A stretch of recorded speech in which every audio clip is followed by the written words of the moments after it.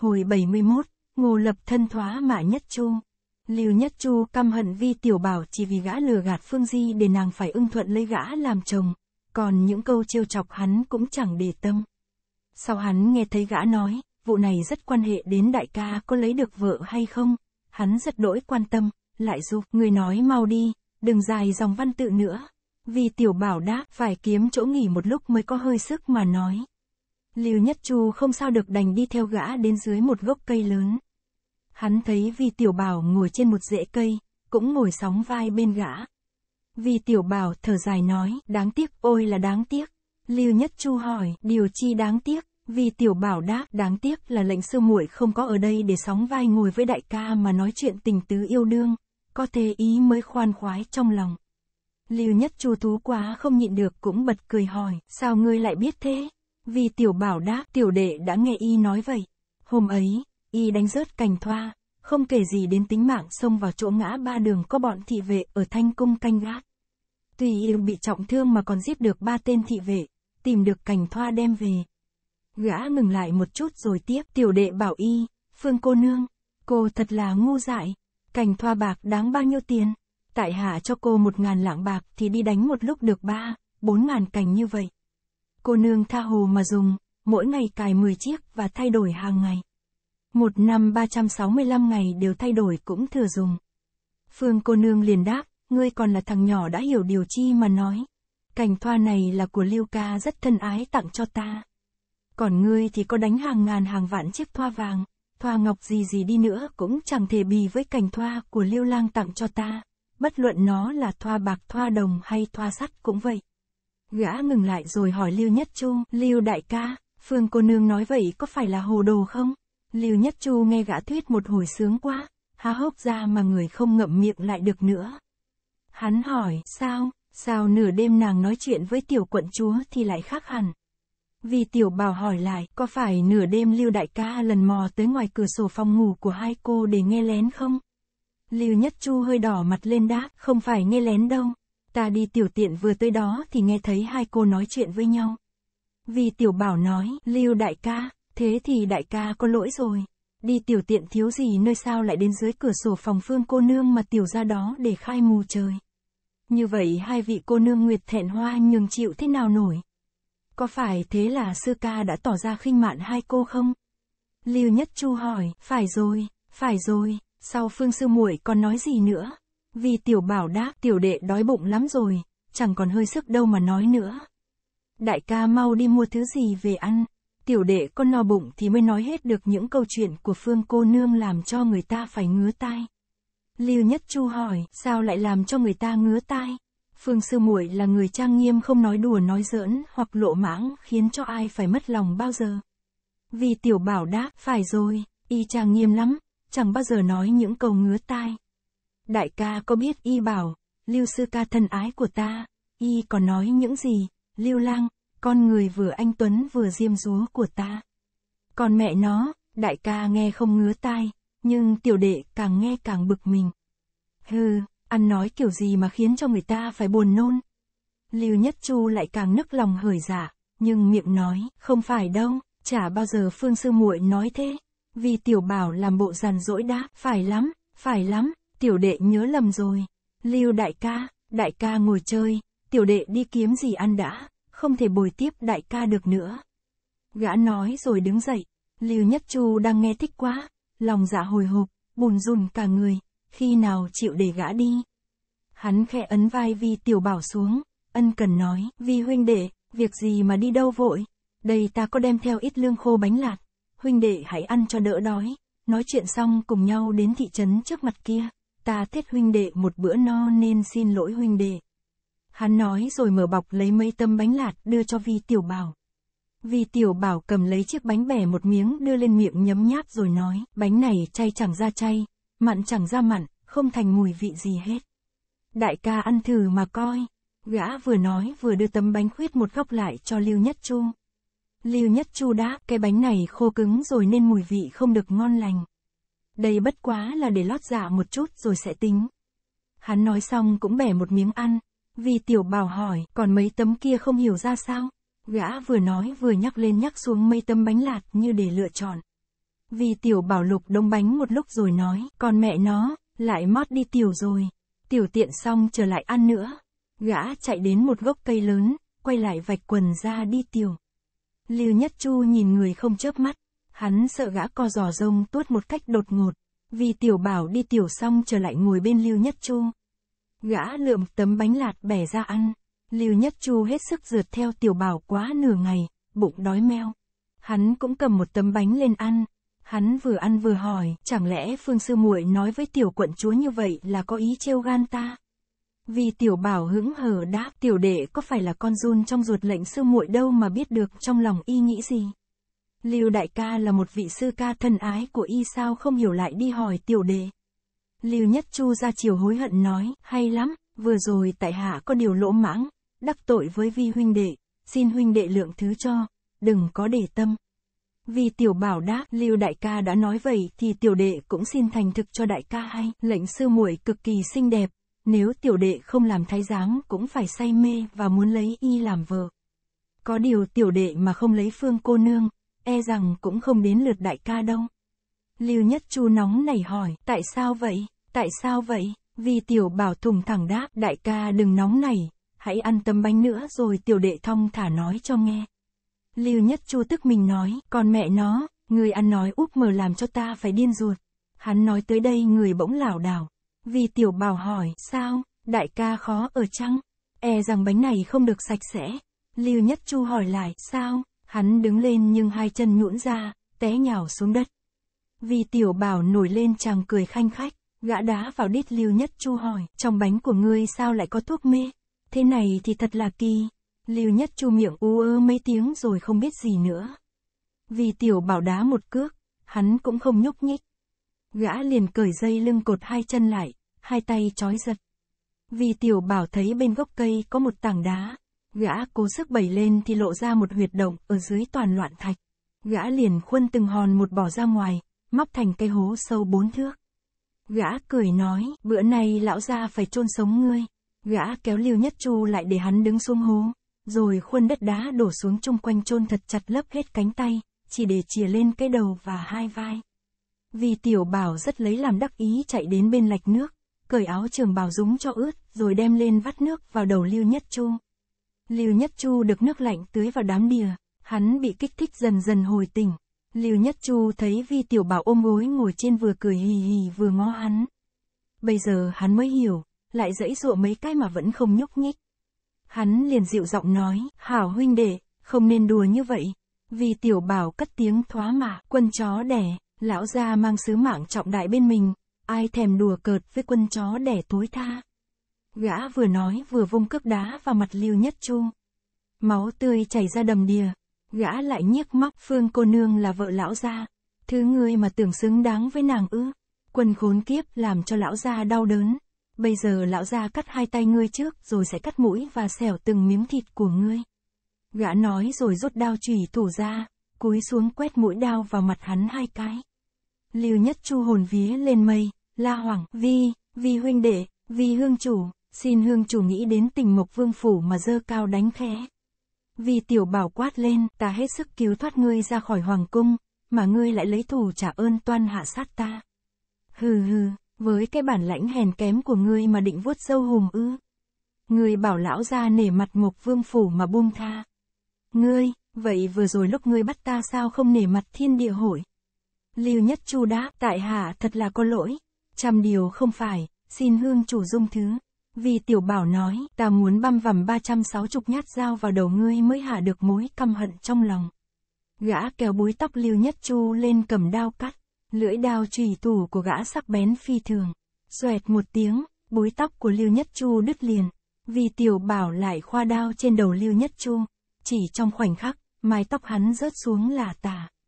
Đầu Lưu Nhất Chu biến thành chọc lóc. Vì tiểu bảo lại thoá mà, thằng chọc chết đâm, chết chém này. Lão già hễ thấy sư sãi là lại bực mình. Ta phải giết ngươi đi mới được. Lưu Nhất Chu làm bộ tươi cười nói, vì hương chủ, tại hạ không phải là sư sãi.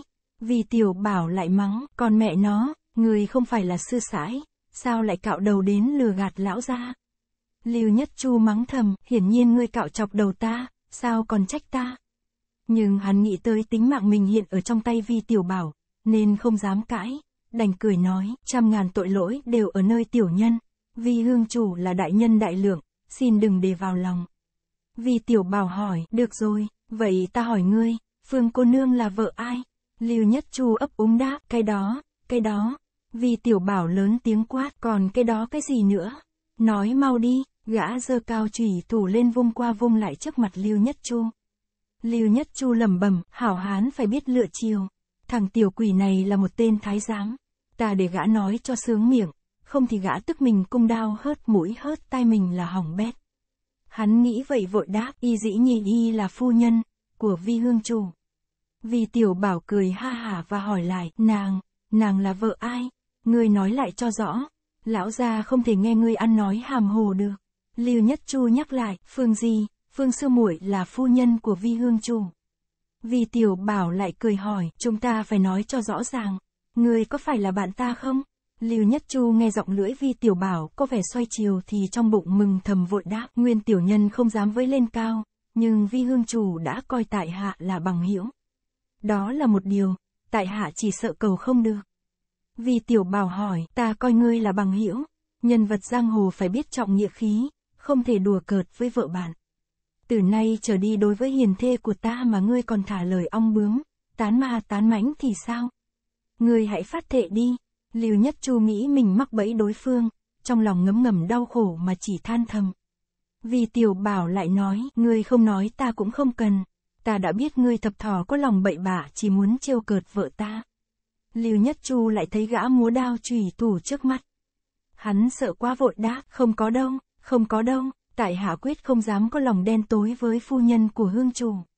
Vì tiểu bảo hỏi, từ nay nếu ngươi còn liếc mắt ngó phương cô nương hay nói câu gì thì sao? Lưu Nhất Chu ấp úng đáp, nếu tại hạ như vậy, thì trời chu đất diệt. Vì tiểu bảo nói, như thế thì ngươi phải là loài rùa đê tiện. Lưu Nhất Chu nhăn mặt đáp, đúng đúng, vì tiểu bảo hỏi, đúng đúng cái gì? Lưu Nhất Chu đáp, từ nay nếu tại hạ còn liếc mắt một cái, hoặc nói một câu với phương sư muội thì nguyện làm, con rùa đê tiện. Vì tiểu bảo cười ha hà nói, đã thế ta dung tha cho ngươi, nhưng trước khi tha ta phải tưới nước tiểu vào đầu ngươi. Gã nói rồi làm bộ vạch quần. Đột nhiên trong rừng cây có thanh âm thiếu nữ quát, ngươi, ngươi đừng khinh người thái quá. Vì tiểu bảo vừa kinh ngạc vừa mừng thầm ngoảnh đầu nhìn lại thấy ba người từ trong rừng cây đi ra. Người đi đầu là Phương Di, Mộc Kiếm Bình và Từ Thiên Xuyên theo sau. Cách đó một lát lại hai người nữa đi ra. Chính là Ngô Lập Thân và Ngao Biêu. Năm người này ẩn trong rừng đã lâu, nghe rõ hết cuộc đối thoại giữa Vi Tiểu Bảo và Lưu Nhất Trung.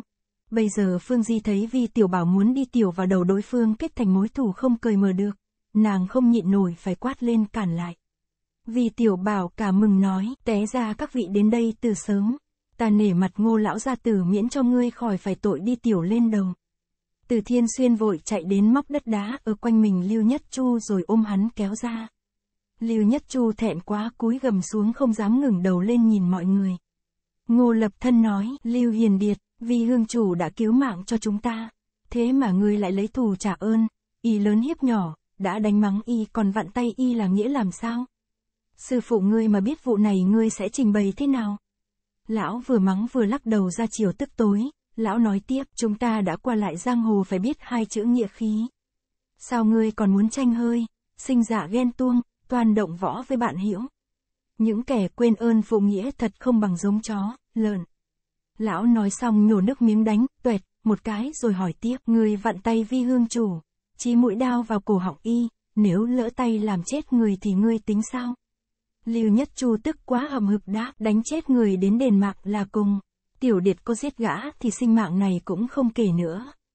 Ngô Lập Thân tức giận hỏi, cha chả, người nói dễ dàng quá vậy. Phải chăng ngươi coi mình cũng là anh hùng hảo hán? Cái mạng của ngươi mà đòi từ mạng một trong 10 vị đại hương chủ ở thiên địa hội được ư? Hơn nữa cái mạng nhỏ xíu của ngươi không được vi hương chủ cứu sống thì nay còn đâu. Ngươi chẳng lo đền đáp lại đại ơn dám động thủ cùng vi hương chủ thì thật là một đứa vô nghĩa. Lúc nãy Lưu Nhất Chu bị vi tiểu bảo bức bách mà phải thề bồi là hắn lo mạng sống đang ở trong tay người. Bây giờ hắn được tự do lại nghĩ tới những câu thề tốt lọt vào tay Phương Di là một điều nhục nhã, cơ hồ không chịu nổi. Ngô lập thân tuy là sư túc hắn nhưng lão lại nhảy giáo huấn hắn hoài, hắn thẹn quá hóa giận, giờ thói ngang ngược hung hăng nói, ngô sư thúc, sự việc đã xảy ra rồi, người ta chưa làm tổn thương đến một sợi lông của gã họ vi. Bây giờ lão nhân ra bảo làm thế nào thì làm thế chứ còn sao nữa. Ngô lập thân nhảy bổ lên trỏ tay vào mặt Lưu Nhất Chu quát mắng, Quần khốn kiếp kia, mi đối với sư thúc mà không giữ bề bậc kẻ trên người dưới. Phải chăng mi muốn động thủ với ta? Lưu Nhất Chu nhùng nhẳng đáp, tiểu điệt không nói thế mà cũng không phải là đối thủ của sư thúc. Ngô lập thân hỏi vặn, giả tỷ bản lãnh của mi mà thắng được ta thì mi dám động thủ với ta lắm chứ gì. Lúc còn ở thanh cung mi tham sống sợ chết, vừa lúc người ta muốn hạ sát, đã vội lớn tiếng năn nỉ xin tha rồi xưng tên họ ra. Ta nghĩ tới thể diện của liễu sư ca nên giấu nhẹm vụ này không nhắc tới. Mi không phải là đệ tử ta thì phước nhà ngươi lớn đó. Lão nói câu này tỏ cho Lưu Nhất Chu biết nếu hắn mà là đệ tử của lão thì lão đã chém hắn một đao cho xong đời từ sớm rồi. Lưu Nhất Chu nghe Ngô Lập Thân nói huyệt tuệt chỗ khiếp nhược của hắn là van lạy xin tha mạng ở thanh cung khiến hắn vừa hổ thẹn vừa tức giận, sắc mặt lợt lạt, cúi gầm đầu xuống không nói gì nữa. Vì tiểu bảo thấy mình đã chiếm được thượng phong về đủ mọi phương diện liền cười nói, thôi thôi, ngô lão gia tử, bất quá lưu đại ca đùa giỡn với tại hạ chứ không phải chuyện thật. Tại hạ yêu cầu ngô lão gia vì tình mà bỏ việc đã qua và xin đừng đem chuyện này kể lại với liễu lão gia tử nữa. Tại hạ rất cảm ơn. Ngô lập thân đáp vì hương chủ đã muốn vậy dĩ nhiên lão phu phải y lời. Lão quay lại nhìn Lưu Nhất Chu nói, mi coi đó mà coi. Vì hương chủ là một nhân vật làm nên việc lớn, độ lượng y cũng khoan hồng là thế. Vì tiểu bảo nhìn Phương Di và Mộc Kiếm Bình, cười hỏi, tại sao hai cô cũng tới đây? Phương Di đáp, ngươi lại đây, ta có câu này muốn nói. Vì tiểu bảo cười khì khì tiến gần lại. Lưu Nhất Chu thấy ở trước mặt mọi người mà Phương Di tỏ ra thân thiết với Vi Tiểu Bảo như vậy, gã nắm chặt đốc đao, không nhịn được, lại muốn xông tới liều mạng. Bỗng nghe, bốp, một tiếng vang lên, vì Tiểu Bảo bị một phát bạt tay này đom đóm mắt. Gã giật mình kinh hãi, nhảy lui ra mấy bước, tay bưng mặt, tức giận hỏi, sao ngươi, lại đánh người ta? Phương Di mày liễu dựng ngược, đỏ mặt lên hỏi lại, ngươi cho ta là hạng người thế nào? Ngươi đã nói những gì với Lưu Sư Ca? Ngươi nói xấu ta ở sau lưng đến thế ư? Vì tiểu bảo ấp úng, ta, ta có nói gì đâu, ta không nói xấu ngươi. Phương Di chẹn hỏng, ngươi còn muốn cãi nữa ư? Ngươi nói câu gì ta đã nghe rõ hết rồi. Các ngươi, cả hai ngươi đều chẳng phải là hảo nhân. Nàng vừa tức vừa nóng nảy, bất giác hai hàng châu lệ tuôn rơi. Từ thiên xuyên bụng bảo dạ, đây là chuyện đàn bà con nít gây lộn, chứ không phải việc to lớn. Ta không nên vì vụ này mà làm thương tổn hòa khí giữa thiên địa hội và mộc vương phù. Lão liền cười ha hà nói, cả vi hương chủ lẫn lưu sư huynh nên chịu thua đi thôi. Từ lão đầu đói lắm rồi. Chúng ta chấm dứt chuyện nhỏ mọn đó để đi tìm phạn điếm ăn một bữa no cho thỏa thích. Đột nhiên luồng gió từ phía tây bắc thổi qua, đem theo một trận mưa những hạt lớn bằng hạt đậu từ trên không tưới xuống. Từ thiên xuyên ngừng đầu trông chiều trời nói, thời tiết tháng 10 mà tự nhiên trời đổ mưa rào, thật là quái sự. Lão thấy từng đám mây đen nghịt ùn ùn từ phương Tây Bắc kéo đến liền nói tiếp, e rằng trận mưa này lớn đây. Chúng ta cần tìm nơi trú ẩn. Bảy người liền theo đường lớn đi về hướng Tây. Phương Di và Mộc Kiếm bình thương thế chưa lành không chạy nhanh được. Trận mưa mỗi lúc một to mà bọn từ Thiên Xuyên không dám thi triển khinh công để chạy nhanh vì còn phải chờ hai cô. Dọc đường không có một căn nhà nào, dù là liều chứa rơm, hay quán nghỉ mát. Chỉ trong khoảnh khắc đoàn người toàn thân ướt đẫm. Vì tiểu bảo cười nói, chúng ta cứ thùng thình mà đi. Chạy nhanh cũng rũ như gà mà đi thong thả cũng ướt như chuột. Chứ chẳng khác gì nhau thì tội gì chạy lẹ cho mệt sức. Hồi 73, trong nhà ma gặp lũ hung tàn. Bốn hán tử ngơ ngác nhìn nhau lắc đầu chứ không trả lời. Lão già lại hỏi, không phải ma quỷ gì đâu. Chúng ta chạm chán cao nhân rồi. Chỉ trong khoảnh khắc mà họ thắp được đèn nến trước ngoài bốn chục tòa linh đường thì mau lẹ quá chừng. Hứa lão gia, lão gia nghe tại hạ nói vậy có lý không? Câu sau lão hướng về phía từ thiên xuyên để hỏi. Từ thiên xuyên giả vờ ngớ ngẩn đáp, bọn tại hạ e rằng chúng ta đã đụng đầu với chủ nhà. Tại hạ tưởng chúng ta nên đến trước linh đường lại mấy lạy, cũng chẳng mất mát gì. Lão giả kia hừ một tiếng, đột nhiên dõng dạc hô, bọn tại hạ đi qua quý sứ bỗng gặp mưa rào vào đây trú ẩn, tự biết mình đường đột. Vậy xin có lời từ tạ. Hiền chủ nhân có chịu cho ra mắt chăng? Lão vận động trung khí hô mấy câu này cho vang đi rất xa. Hồi lâu hậu viện vẫn không thấy động tĩnh gì. Lão già lại lắc đầu lớn tiếng, chủ nhân đã không muốn tiếp ký yến tục khách, bọn tại hạ cũng không dám quấy nhiễu, chỉ xin ẩn mưa ngoài sảnh đường này để chờ trời tạnh là lập tức động thân. Lão nói rồi giơ tay ra hiệu cho mọi N tương đương ơi đừng ai lên tiếng, để lão chú ý lắng tai nghe. Nhưng Thủy Trung vẫn chăng thấy phản ứng. Một hán tử khẽ nói, trương lão đại, bất luận họ là người hay là ma quỷ cũng mặc. Chúng ta chờ đến sáng mai, cho một mớ lửa đốt mẹ nó đi là xong.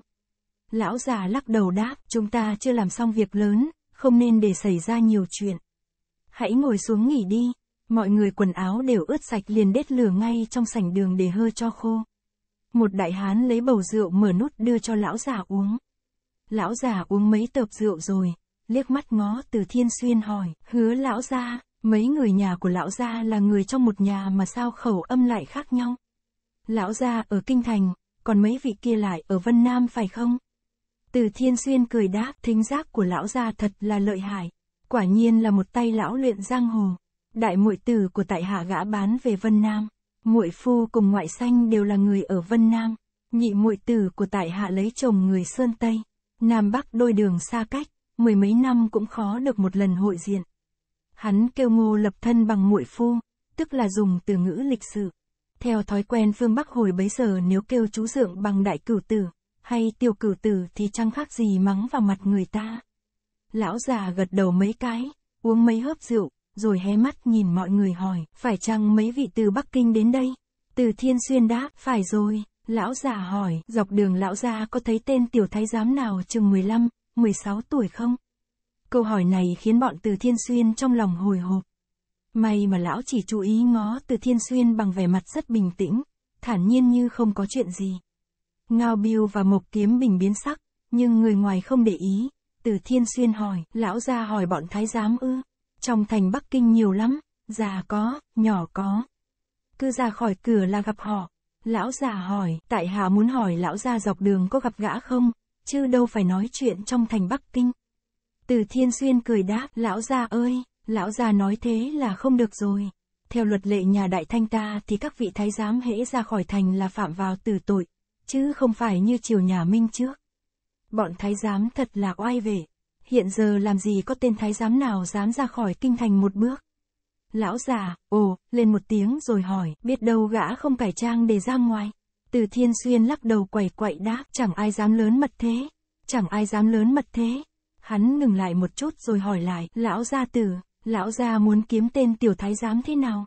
Khi bọn tại hạ lên Sơn Tây thăm người nhà xong trở về kinh đô nghe ngóng giúp lão gia, gọi là làm duyên gặp gỡ sửa đường. Lão già kia hắng giọng một tiếng rồi đáp, đa tạ hứa lão gia. Tại hạ không hiểu có sống lâu được đến thế chăng?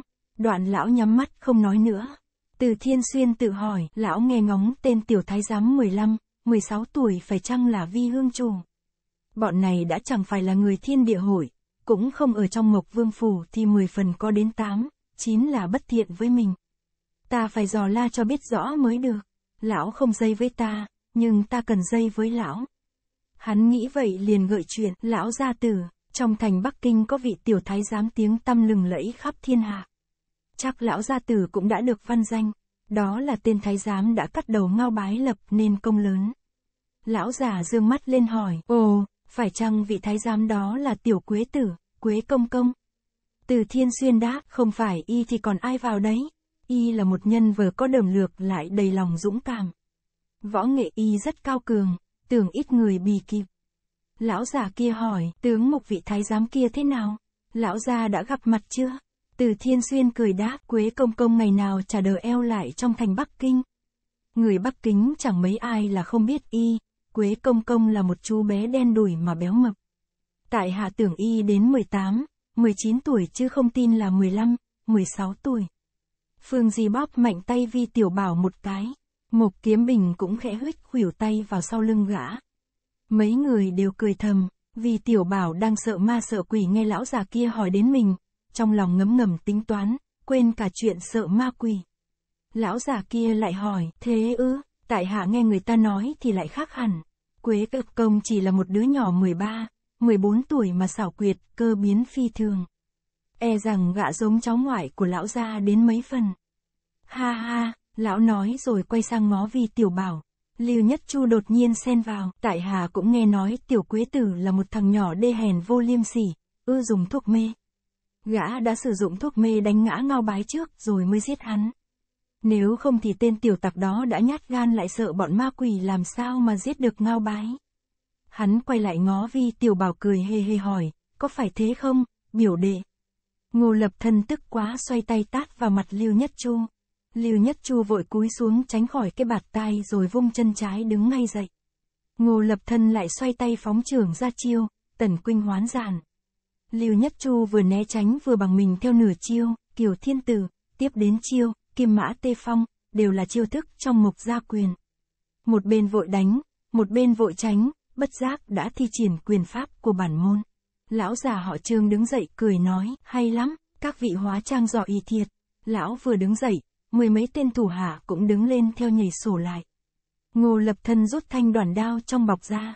Lão vùng đao qua mé tả chém ngã một hán tử. Tiếp theo lão đưa đoàn đao sang mé hữu. Lại một hán tử nữa bị trúng đao vào cổ họng. Lão già kia thò tay vào sau lưng rút ra một cặp phán quan bút. Cặp bút sát vào nhau bật lên tiếng lách cách khiến người nghe nhức răng tê gân rất khó chịu. Lão già họ trương vung cặp bút tay trái điểm vào cổ họng ngô lập thân, tay mặt phóng tới trước ngực từ thiên xuyên. Một mình lão tấn công hai người mà thân thủ rất linh động thần tốc. Từ thiên xuyên lạng người sang mé hiếu, tay trái hắn nhằm chụp vào một mắt một đại hán. Đại hán này ngửa người về phía sau, thanh đơn đao trong tay gã bị từ thiên xuyên đoạt mất. Sau lưng gã đau nhói lên, chính thanh đao của gã đã đâm vào bụng. Từ thiên xuyên đoạt được đơn dao lại giết hai người liền. Bên kia Ngao Biêu cũng đã cùng người động thủ. Lưu Nhất Chu ngần ngừ một chút rồi cởi Nguyễn Tiên xông ra chiến đấu. Bên đối phương tuy đông người, nhưng ngoài một mình lão già đang chiến đấu ngang mức với ngô lập thân, còn toàn hạc tâm thường không chống nổi đối thủ. Vì tiểu bảo thấy bên mình chiếm phần tiện nghi, liền tự nhủ, chỉ cốt đừng đụng vào lão gia, còn ngoài ra cũng có thể đối chọi được một lúc với họ. Gã rút chùy thủ cầm tay toan xông ra. Phương Di giữ gã lại nói, bên mình nhất định thắng rồi, người bất tất phải trợ lực. Vì tiểu bảo nghĩ bụng, ta cũng biết nhất định thắng mới xông ra, chứ bên mình thua thì chỉ có đường chạy trốn. Bỗng nghe những tiếng lách cách vang lên, lão già kia lại cọ sát cặp phán quan bút vào nhau. Bọn thủ hạ của lão vội kéo đến phía sau lão, bày thành một thế trận rất mau chóng. Bọn hán tử chỉ cần bước truyền đi một chút là lập xong phương vị. Mười mấy người súng xít vào một chỗ mà cũng không đụng phải nhau. Diễn biến này tỏ ra Bình Nhật chúng đã luyện tập rất thành thuộc. Nguyên một vụ lập trận chúng đã tốn rất nhiều công phu. Từ Thiên Xuyên và Ngô Lập Thân đều kinh hãi nhảy lùi một bước. Ngao biêu cậy mạnh xông vào. Đột nhiên bốn thanh đao từ trong trận nhất tề phóng ra. Hai thanh chém trên vai, hai thanh quét dưới chân, phối hợp với nhau xảo diệu vô cùng. Trung gian hai ngọn thương gạt đao của gã chém tới ngao biêu rú lên một tiếng, úi theo, bả vai gã bị trúng một đao. Ngô lập thân vội la lên, biêu nhi hãy lùi lại. Ngao biêu vội lùi lại nhảy ra ngoài. Mới trong nháy mắt, chiến cục đã biến đổi, thế hơn thua đột nhiên đảo ngược. Từ Thiên Xuyên và hai cô đứng ở phía trước Vi Tiểu Bảo để bảo vệ cho gã và quan sát đối phương vận dụng trận pháp ra sao. Bỗng lão giả tay phải dơ phán quan bút lên, lớn tiếng hô, hồng giáo chủ vạn niên bất lão, VNH viễn được hưởng tiên phúc, thọ ngang thượng đế, thọ ngang thượng đế, mười mấy hán tử nhất tề dơ binh khí lên, đồng thanh lớn tiếng hô theo, hồng giáo chủ thọ ngang thượng đế, thọ ngang thượng đế, tiếng hô làm chấn động cả mái ngói, linh trạng chẳng khác lũ điên khùng, bọn từ thiên xuyên trong lòng kinh hãi không hiểu họ làm cho quỷ gì. Vì tiểu bảo nghe nói đến ba chữ, Hồng giáo chủ, sực nhớ tới đào Hồng Anh từ lời nói đến vẻ mặt lộ ra cực kỳ khủng khiếp, bất giác bột miệng la lớn lên, thần Long giáo, bọn họ ở thần Long giáo rồi. Lão già kia đột nhiên biến sắc hỏi, người cũng biết tiếng thần Long giáo ư. Rồi lão giơ cao tay mặt lên và hô lớn, Hồng giáo chủ thần thông quảng đại, giáo phái ta đánh bại khắp nơi, địch nhân thấy bóng chạy tơi bời. cưỡng rắn cũng tan tành xác pháo, Đồng bọn của lão cũng hô theo, hồng giáo chủ thần thông quảng đại. Giáo phái ta đánh bại khắp nơi, địch nhân thấy bóng chạy tơi bời. cưỡng rắn cũng tan tành xác pháo. Bọn từ thiên xuyên nghe bọn kia niệm một câu là lại run lên một lần. Ai cũng cảm thấy hành vi của bọn đó thật ly kỳ quái lạ xưa nay chưa từng có. Lúc lâm địch cũng lớn tiếng niệm chú. Vì tiểu bảo la lên, bọn người này niệm chú đấy. Đừng mắc bẫy họ, phải xông vào mà giết đi lão già và đồng bọn càng niệm mau hơn. Bây giờ không phải lão già niệm một câu rồi bọn hán tử mới niệm theo, mà cả mười mấy người đồng thanh tụng niệm, hồng giáo chủ ra oai sấm sét, chúng đổi nhi sức mạnh phi thường, ta một người, trăm địch khôn đương, địch hàng vạn, trăm quân đủ thắng. Hồng giáo chủ thần minh như điện, chiêu nhãn quang ra khắp bốn phương. Phận đồ nhi giết giặc lo lường, hồng giáo chủ thăng lên thần thánh. Bọn đồ đệ hết lòng bảo vệ, dù hy sinh tính mạng cũng liều lên thiên đường mục đích cao siêu, về chín suối cũng là mãn nguyện. Bọn ngô lập thân, từ thiên xuyên vội rút binh khí ra nghinh địch. Nhưng những người kia mới trong khoảnh khắc mà võ công tăng lên rất nhiều. Thành đào phóng ra, ngọn thương đâm lại. Kinh lực lúc này của chúng tăng lên gấp bội, tên nào cũng tựa hồ si ngốc điên khùng, vùng gươm đao chém loạn xà ngầu. Mới vài hiệp, Ngao Biêu và Lưu Nhất Chu đã bị chém té. Tiếp theo Vi tiểu bảo, Phương Di và Mộc Kiếm Bình cũng bị đánh ngã. Phương Di bị thương ở đùi, Mộc Kiếm Bình bị thương ở tay. Vi tiểu bảo bị một thương đâm vào sau lưng, may gã có tấm áo lót hộ thân nên không thấu ruột, nhưng thế đâm mạnh quá, gã đứng không vững bền ngã chui xuống. Chẳng bao lâu cả ngô lập thân lẫn từ thiên xuyên cũng bị thương. Lão già phóng chỉ điểm ly ha vào huyệt đạo mọi người. Bọn chúng lại đồng thanh hô, hồng giáo chủ thần thông quảng đại, thọ ngang thượng đế. Chúng hô rồi đột nhiên ngồi phệt cả xuống. Tên nào cũng toát mồ hôi, thở lên hồng hộc ra chiều rất mệt nhọc. Thực ra cuộc chiến này chỉ kéo dài khoảng thời gian chừng uống cạn tuần trà đã phân thắng bại mà tưởng chừng họ phải kịch chiến trong mấy giờ. Vì tiểu bảo thấy mọi người bên mình tuy bị thương nhưng không nặng lắm, chẳng gì đáng ngại. Gã mới hơi yên lòng, nghĩ bụng, té ra bọn này dùng yêu pháp, không trách đào cô cô mới nhắc đến thần long giáo là đã sợ run. Quả nhiên thật khó lòng chống nổi bọn này. Lão già ngồi trên ghế nhắm mắt dưỡng thần. Sau một lúc lâu, lão mới đứng dậy lau mồ hôi chán đi tới đi lui trong sảnh đường. Sau một lúc nữa, bọn thủ hạ của lão cũng lục tục đứng dậy. Lão già quay về phía bọn từ thiên xuyên nói, các người tụng niệm theo ta. Này này, hãy nghe cho kỹ, ta niệm câu gì các ngươi niệm theo câu ấy. Đoạn lão cất tiếng niệm, hồng giáo chủ thần thông quảng đại, thọ ngang thượng đế, từ thiên xuyên mắng liền, bọn ngươi là loài yêu quỷ hí lộng quỷ thần lại đòi lão ra làm cho khỉ theo. Nếu thế thì các ngươi mơ tưởng hão huyền. Lão già tức giận cầm phán quan bút đâm vào chán từ thiên xuyên đánh, chát, một tiếng. Lập tức máu tươi chảy đầm đìa. Từ thiên xuyên lại thoá mà, quan cầu tặc, loại yêu quái. Lão già quay sang hỏi ngô lập thân, ngươi có niệm hay không? Ngô lập thân chưa trả lời mới lắc đầu một cái thì lão già đã cầm phán quan bút phóng vào chán. Lão già lại hỏi đến ngao biêu thì gã lớn tiếng thoá mạ ngay, tổ bà nhà mi, thọ ngang giống chó, lão già tức quá phóng bút mạnh hơn làm cho ngao biêu ngất XNL. Ngô lập thân không nhịn được, quát mắng, thế mà cũng đòi làm hảo hán ư. Còn mẹ nó, người có giỏi thì giết chết bọn ta đi. Lão già giơ phán quan bút lên hỏi Lưu Nhất Chu, người có niệm không? Lưu Nhất Chu sợ hãi ấp úng, tại hạ, tại hạ. Lão già dục, người niệm đi, Hồng giáo chủ thần thông quảng đại, thọ ngang thượng đế Lưu Nhất Chu lắp bắp, Hồng giáo chủ, Hồng giáo chủ, lão già khẽ chọc bút vào chán hắn một cái, hắn vội la, dạ dạ, Hồng giáo chủ, Hồng giáo chủ thần thông quảng đại, thọ ngang thượng đế, lão già nghe Lưu Nhất Chu niệm rồi cười hô hố nói, có biết thời vụ mới là tay Tuấn Kiệt, miễn cho thằng nhỏ này khỏi chịu đau về da thịt. Lão đến trước mặt Vi Tiểu Bảo, quát tên tiểu quỷ kia, mi hãy niệm theo ta. Vi Tiểu Bảo đáp, ta không cần theo lão. Lão già quắc mắt lên hỏi, mi bảo sao? Lão giờ phán quan bút lên. Vi Tiểu Bảo liền lớn tiếng niệm, vi giáo chủ thần thông cụ ảng đại. Vi giáo chủ thọ ngang thượng đế, vĩnh viễn hưởng phúc thần tiên. Vi giáo chủ đánh đâu được đấy. Vi giáo chủ cất nhắc cho bọn các ngươi đều lên thiên đường. Miệng gã liến thoáng niệm liên hồi. Mỗi lần niệm vi giáo chủ, thì chữ vi gã nói hàm hồ hay kịt mũi một cái. Lão già kia có biết đâu gã man trá, yên chí là gã niệm hồng giáo chủ. Lão nghe gã niệm xong trong lòng khoan khoái cười ha hà nói, thằng lòi con này khôn ngoan hơn. Lão chạy đến trước mặt Phương Di sờ vào cầm nàng nói, ủa, con nhỏ này tướng mạo ngộ quá, hãy ngoan ngoãn niệm theo ta đi. Phương Di ngoảnh mặt đi đáp, không niệm, lão già giơ phán quan bút lên toan đâm thì mục quang lão chạm vào gương mặt xinh đẹp của nàng, lão sinh lòng bất nhẫn, đưa bút trỏ vào má nàng hỏi, ngươi có niệm không? Ngươi còn thốt ra một câu, không niệm, là ta vạch vào cái mặt ngươi ba nét. Phương Di quật cường không niệm, nhưng không nói ra miệng. Lão già bảo, một lần nữa, ngươi có niệm hay không thì bảo. Vì tiểu bảo xen vào, để ta niệm thay y được không? Tiếng ta niệm còn hay hơn nhiều.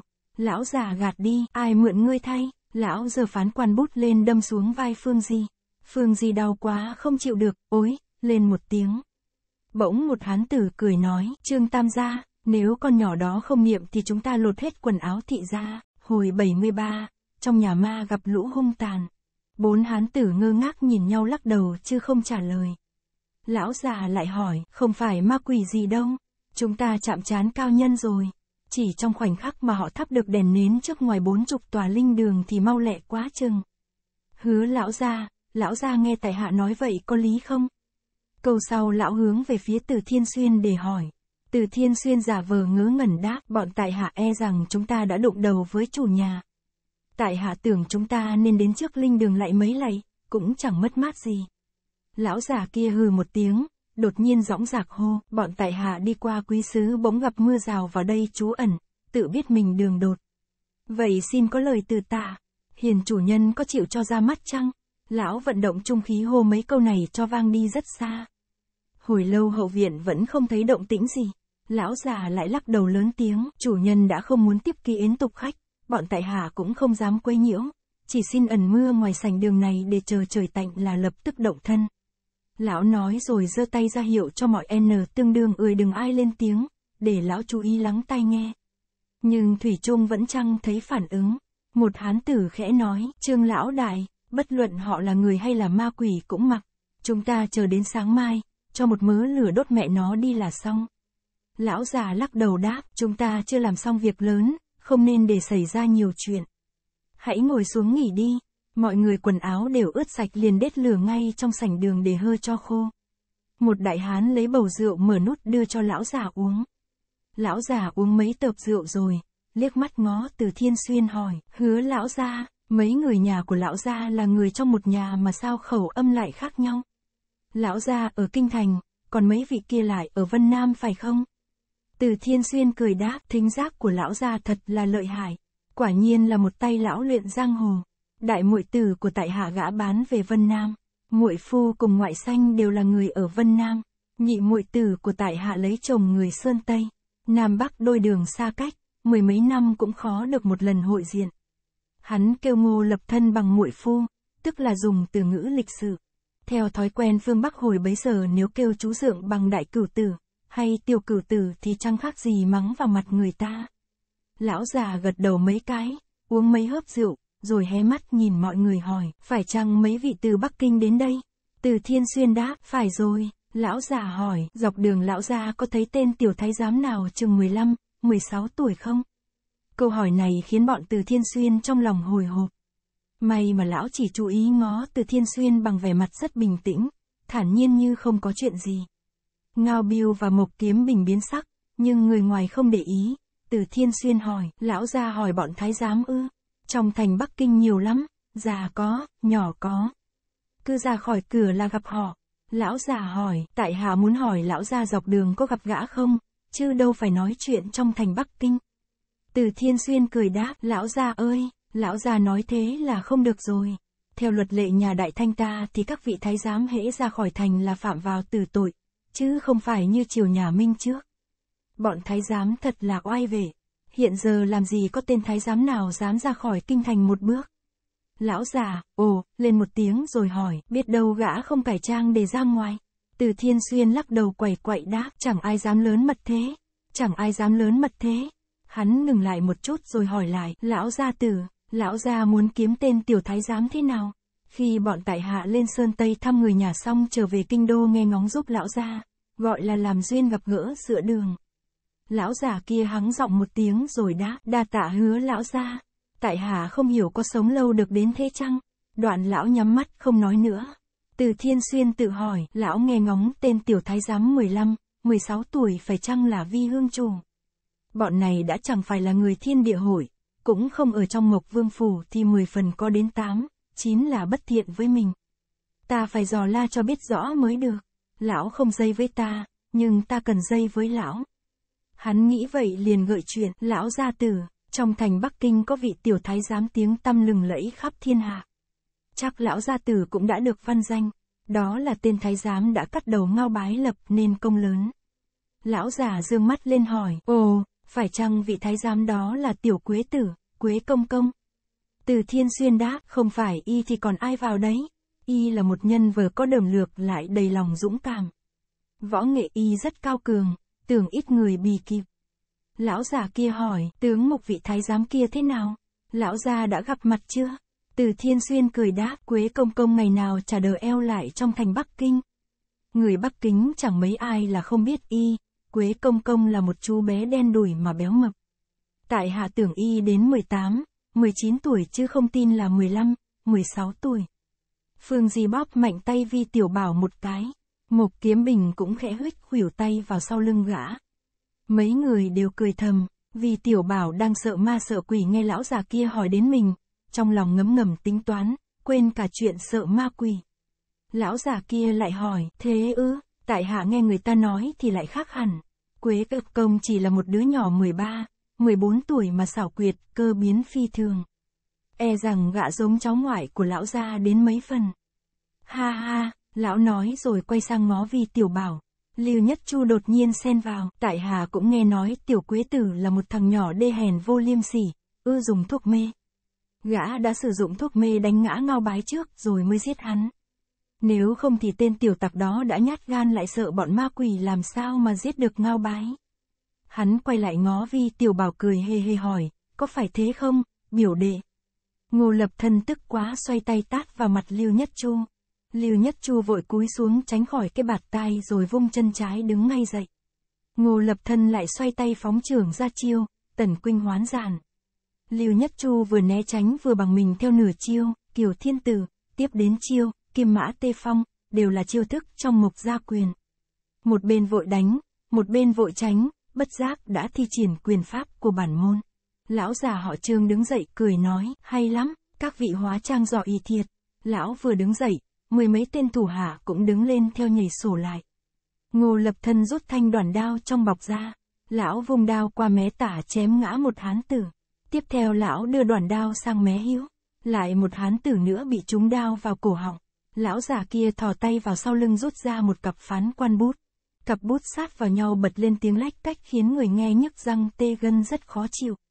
Lão già họ trương vung cặp bút tay trái điểm vào cổ họng ngô lập thân, tay mặt phóng tới trước ngực từ thiên xuyên. Một mình lão tấn công hai người mà thân thủ rất linh động thần tốc. Từ thiên xuyên lạng người sang mé hiếu, tay trái hắn nhằm chụp vào một mắt một đại hán. Đại hán này ngửa người về phía sau, thanh đơn đao trong tay gã bị từ thiên xuyên đoạt mất.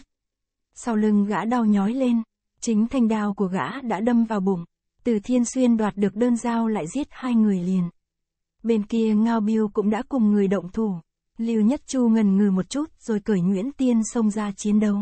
Bên đối phương tuy đông người, nhưng ngoài một mình lão già đang chiến đấu ngang mức với ngô lập thân, còn toàn hạc tâm thường không chống nổi đối thủ. Vì tiểu bảo thấy bên mình chiếm phần tiện nghi, liền tự nhủ, chỉ cốt đừng đụng vào lão gia, còn ngoài ra cũng có thể đối chọi được một lúc với họ. Gã rút chùy thủ cầm tay toan xông ra. Phương Di giữ gã lại nói, bên mình nhất định thắng rồi, người bất tất phải trợ lực. Vì tiểu bảo nghĩ bụng, ta cũng biết nhất định thắng mới xông ra, chứ bên mình thua thì chỉ có đường chạy trốn. Bỗng nghe những tiếng lách cách vang lên, lão già kia lại cọ sát cặp phán quan bút vào nhau. Bọn thủ hạ của lão vội kéo đến phía sau lão, bày thành một thế trận rất mau chóng. Bọn hán tử chỉ cần bước truyền đi một chút là lập xong phương vị. Mười mấy người súng xít vào một chỗ mà cũng không đụng phải nhau. Diễn biến này tỏ ra Bình Nhật chúng đã luyện tập rất thành thuộc. Nguyên một vụ lập trận chúng đã tốn rất nhiều công phu. Từ Thiên Xuyên và Ngô Lập Thân đều kinh hãi nhảy lùi một bước. Ngao biêu cậy mạnh xông vào. Đột nhiên bốn thanh đao từ trong trận nhất tề phóng ra. Hai thanh chém trên vai, hai thanh quét dưới chân, phối hợp với nhau xảo diệu vô cùng. Trung gian hai ngọn thương gạt đao của gã chém tới ngao biêu rú lên một tiếng, úi theo, bả vai gã bị trúng một đao. Ngô lập thân vội la lên, biêu nhi hãy lùi lại. Ngao biêu vội lùi lại nhảy ra ngoài. Mới trong nháy mắt, chiến cục đã biến đổi, thế hơn thua đột nhiên đảo ngược. Từ Thiên Xuyên và hai cô đứng ở phía trước Vi Tiểu Bảo để bảo vệ cho gã và quan sát đối phương vận dụng trận pháp ra sao. Bỗng lão giả tay phải giơ phán quan bút lên, lớn tiếng hô, hồng giáo chủ vạn niên bất lão, VNH viễn được hưởng tiên phúc, thọ ngang thượng đế, thọ ngang thượng đế, mười mấy hán tử nhất tề giơ binh khí lên, đồng thanh lớn tiếng hô theo, hồng giáo chủ thọ ngang thượng đế, thọ ngang thượng đế, tiếng hô làm chấn động cả mái ngói, linh trạng chẳng khác lũ điên khùng, bọn từ thiên xuyên trong lòng kinh hãi không hiểu họ làm cho quỷ gì. Vì tiểu bảo nghe nói đến ba chữ, hồng giáo chủ, sực nhớ tới đào hồng anh từ lời nói đến vẻ mặt lộ ra cực kỳ khủng khiếp, bất giác buột miệng la lớn lên, thần long giáo, bọn họ ở thần long giáo rồi. Lão già kia đột nhiên biến sắc hỏi, người cũng biết tiếng thần long giáo ư. Rồi lão giơ cao tay mặt lên và hô lớn, hồng giáo chủ thần thông quảng đại. Giáo phái ta đánh bại khắp nơi, địch nhân thấy bóng chạy tơi bời. cưỡng rắn cũng tan tành xác pháo. Đồng bọn của lão cũng hô theo, hồng giáo chủ thần thông quảng đại. Giáo phái ta đánh bại khắp nơi, địch nhân thấy bóng chạy tơi bời. cưỡng rắn cũng tan tành xác pháo. Bọn từ thiên xuyên nghe bọn kia niệm một câu là lại run lên một lần. Ai cũng cảm thấy hành vi của bọn đó thật ly kỳ quái lạ xưa nay chưa từng có. Lúc lâm địch cũng lớn tiếng niệm chú. Vì tiểu bảo la lên, bọn người này niệm chú đấy. Đừng mắc bẫy họ, phải xông vào mà giết đi lão già và đồng bọn càng niệm mau hơn. Bây giờ không phải lão già niệm một câu rồi bọn hán tử mới niệm theo, mà cả mười mấy người đồng thanh tụng niệm, hồng giáo chủ gia oai sấm sét, chúng đổ nhi sức mạnh phi thường, ta một người, trăm địch khôn đương, địch hàng vạn, trăm quân đủ thắng. Hồng giáo chủ thần minh như điện, chiêu nhãn quang ra khắp bốn phương. Phận đồ nhi giết giặc lo lường, hồng giáo chủ thăng lên thần thánh. Bọn đồ đệ hết lòng bảo vệ, dù hy sinh tính mạng cũng liều lên thiên đường mục đích cao siêu, về chín suối cũng là mãn nguyện. Bọn ngô lập thân, từ thiên xuyên vội rút binh khí ra nghinh địch. Nhưng những người kia mới trong khoảnh khắc mà võ công tăng lên rất nhiều. Thành đào phóng ra, ngọn thương đâm lại. Kình lực lúc này của chúng tăng lên gấp bội, tên nào cũng tựa hồ si ngốc điên khùng, vùng gươm đao chém loạn xà ngầu. Mới vài hiệp, Ngao Biêu và Lưu Nhất Chu đã bị chém té. Tiếp theo Vi Tiểu Bảo, Phương Di và Mộc Kiếm Bình cũng bị đánh ngã. Phương Di bị thương ở đùi, Mộc Kiếm Bình bị thương ở tay. Vi Tiểu Bảo bị một thương đâm vào sau lưng, may gã có tấm áo lót hộ thân nên không thấu ruột, nhưng thế đâm mạnh quá, gã đứng không vững bền ngã chui xuống. Chẳng bao lâu cả ngô lập thân lẫn từ thiên xuyên cũng bị thương. Lão già phóng chỉ điểm ly ha vào huyệt đạo mọi người. Bọn chúng lại đồng thanh hô, hồng giáo chủ thần thông quảng đại, thọ ngang thượng đế. Chúng hô rồi đột nhiên ngồi phệt cả xuống. Tên nào cũng toát mồ hôi, thở lên hồng hộc ra chiều rất mệt nhọc. Thực ra cuộc chiến này chỉ kéo dài khoảng thời gian chừng uống cạn tuần trà đã phân thắng bại mà tưởng chừng họ phải kịch chiến trong mấy giờ. Vì tiểu bảo thấy mọi người bên mình tuy bị thương nhưng không nặng lắm, chẳng gì đáng ngại. Gã mới hơi yên lòng, nghĩ bụng, té ra bọn này dùng yêu pháp, không trách đào cô cô mới nhắc đến thần long giáo là đã sợ run. Quả nhiên thật khó lòng chống nổi bọn này. Lão già ngồi trên ghế nhắm mắt dưỡng thần. Sau một lúc lâu, lão mới đứng dậy lau mồ hôi chán đi tới đi lui trong sảnh đường. Sau một lúc nữa, bọn thủ hạ của lão cũng lục tục đứng dậy. Lão già quay về phía bọn từ thiên xuyên nói, các người tụng niệm theo ta. Này này, hãy nghe cho kỹ, ta niệm câu gì các ngươi niệm theo câu ấy. Đoạn lão cất tiếng niệm, hồng giáo chủ thần thông quảng đại, thọ ngang thượng đế, từ thiên xuyên mắng liền, bọn ngươi là loài yêu quỷ hí lộng quỷ thần lại đòi lão ra làm cho khỉ theo. Nếu thế thì các ngươi mơ tưởng hão huyền. Lão già tức giận cầm phán quan bút đâm vào chán từ thiên xuyên đánh, chát, một tiếng. Lập tức máu tươi chảy đầm đìa. Từ thiên xuyên lại thoá mà, quan cầu tặc, loại yêu quái. Lão già quay sang hỏi ngô lập thân, ngươi có niệm hay không? Ngô lập thân chưa trả lời mới lắc đầu một cái thì lão già đã cầm phán quan bút phóng vào chán. Lão già lại hỏi đến ngao biêu thì gã lớn tiếng thoá mả ngay, tổ bà nhà mi, thọ ngang giống chó, lão già tức quá phóng bút mạnh hơn làm cho ngao biêu mất XNL. Ngô lập thân không nhịn được, quát mắng, thế mà cũng đòi làm hảo hán ư. Còn mẹ nó, người có giỏi thì giết chết bọn ta đi. Lão già giơ phán quan bút lên hỏi Lưu Nhất Chu, người có niệm không? Lưu Nhất Chu sợ hãi ấp úng, tại hạ, tại hạ. Lão già dục, ngươi niệm đi, hồng giáo chủ thần thông quảng đại, Thọ ngang thượng đế lưu nhất chu lắp bắp, hồng giáo chủ, hồng giáo chủ, lão già khẽ chọc bút và chán hắn một cái, hắn vội la, dạ dạ, hồng giáo chủ, hồng giáo chủ thần thông quảng đại, thọ ngang thượng đế, lão già nghe lưu nhất chu niệm rồi cười hô hố nói, có biết thời vụ mới là tay tuấn kiệt, miễn cho thằng nhỏ này khỏi chịu đau về da thịt, lão đến trước mặt vi tiểu bảo, quá, tên tiểu quỷ kia, mi hãy niệm theo ta, vi tiểu bảo đáp, ta không cần theo lão, lão già quắc mắt lên hỏi, mi bảo sao, lão giờ phán quan bút lên, vi tiểu bảo liền lớn tiếng niệm, vi giáo chủ thần thông cụ ảng đại, vi giáo chủ thọ ngang thượng đế, vĩnh viễn hưởng phúc thần tiên. Vi giáo chủ đánh đâu được đấy, vi giáo chủ cất nhắc cho bọn các ngươi đều lên thiên đường. Miệng gã liến thoáng niệm liên hồi, mỗi lần niệm vi giáo chủ, thì chữ vi gã nói hàm hồ hay kịt mũi một cái. Lão già kia có biết đâu gã man trá, yên chí là gã niệm hồng giáo chủ. Lão nghe gã niệm xong trong lòng khoan khoái cười ha hả nói, thằng lòi con này khôn ngoan hơn. Lão chạy đến trước mặt Phương Di sờ vào cầm nàng nói, ủa, con nhỏ này tướng mạo ngộ quá, hãy ngoan ngoãn niệm theo ta đi. Phương Di ngoảnh mặt đi đáp, không niệm, lão già giơ phán quan bút lên toan đâm thì mục quang lão chạm vào gương mặt xinh đẹp của nàng, lão sinh lòng bất nhẫn, đưa bút trỏ vào má nàng hỏi, ngươi có niệm không? Ngươi còn thốt ra một câu, không niệm, là ta vạch vào cái mặt ngươi ba nét. Phương Di quật cường không niệm, nhưng không nói ra miệng. Lão già bảo, một lần nữa, người có niệm hay không thì bảo. Vì tiểu bảo xen vào, để ta niệm thay y được không? Tiếng ta niệm còn hay hơn nhiều. Lão già gạt đi, ai mượn ngươi thay? Lão giờ phán quan bút lên đâm xuống vai Phương Di. Phương Di đau quá không chịu được, ối, lên một tiếng. Bỗng một hán tử cười nói, Trương Tam gia, nếu con nhỏ đó không niệm thì chúng ta lột hết quần áo thị ra. Hồi 74, trong quỷ ốc quần hùng mất tích.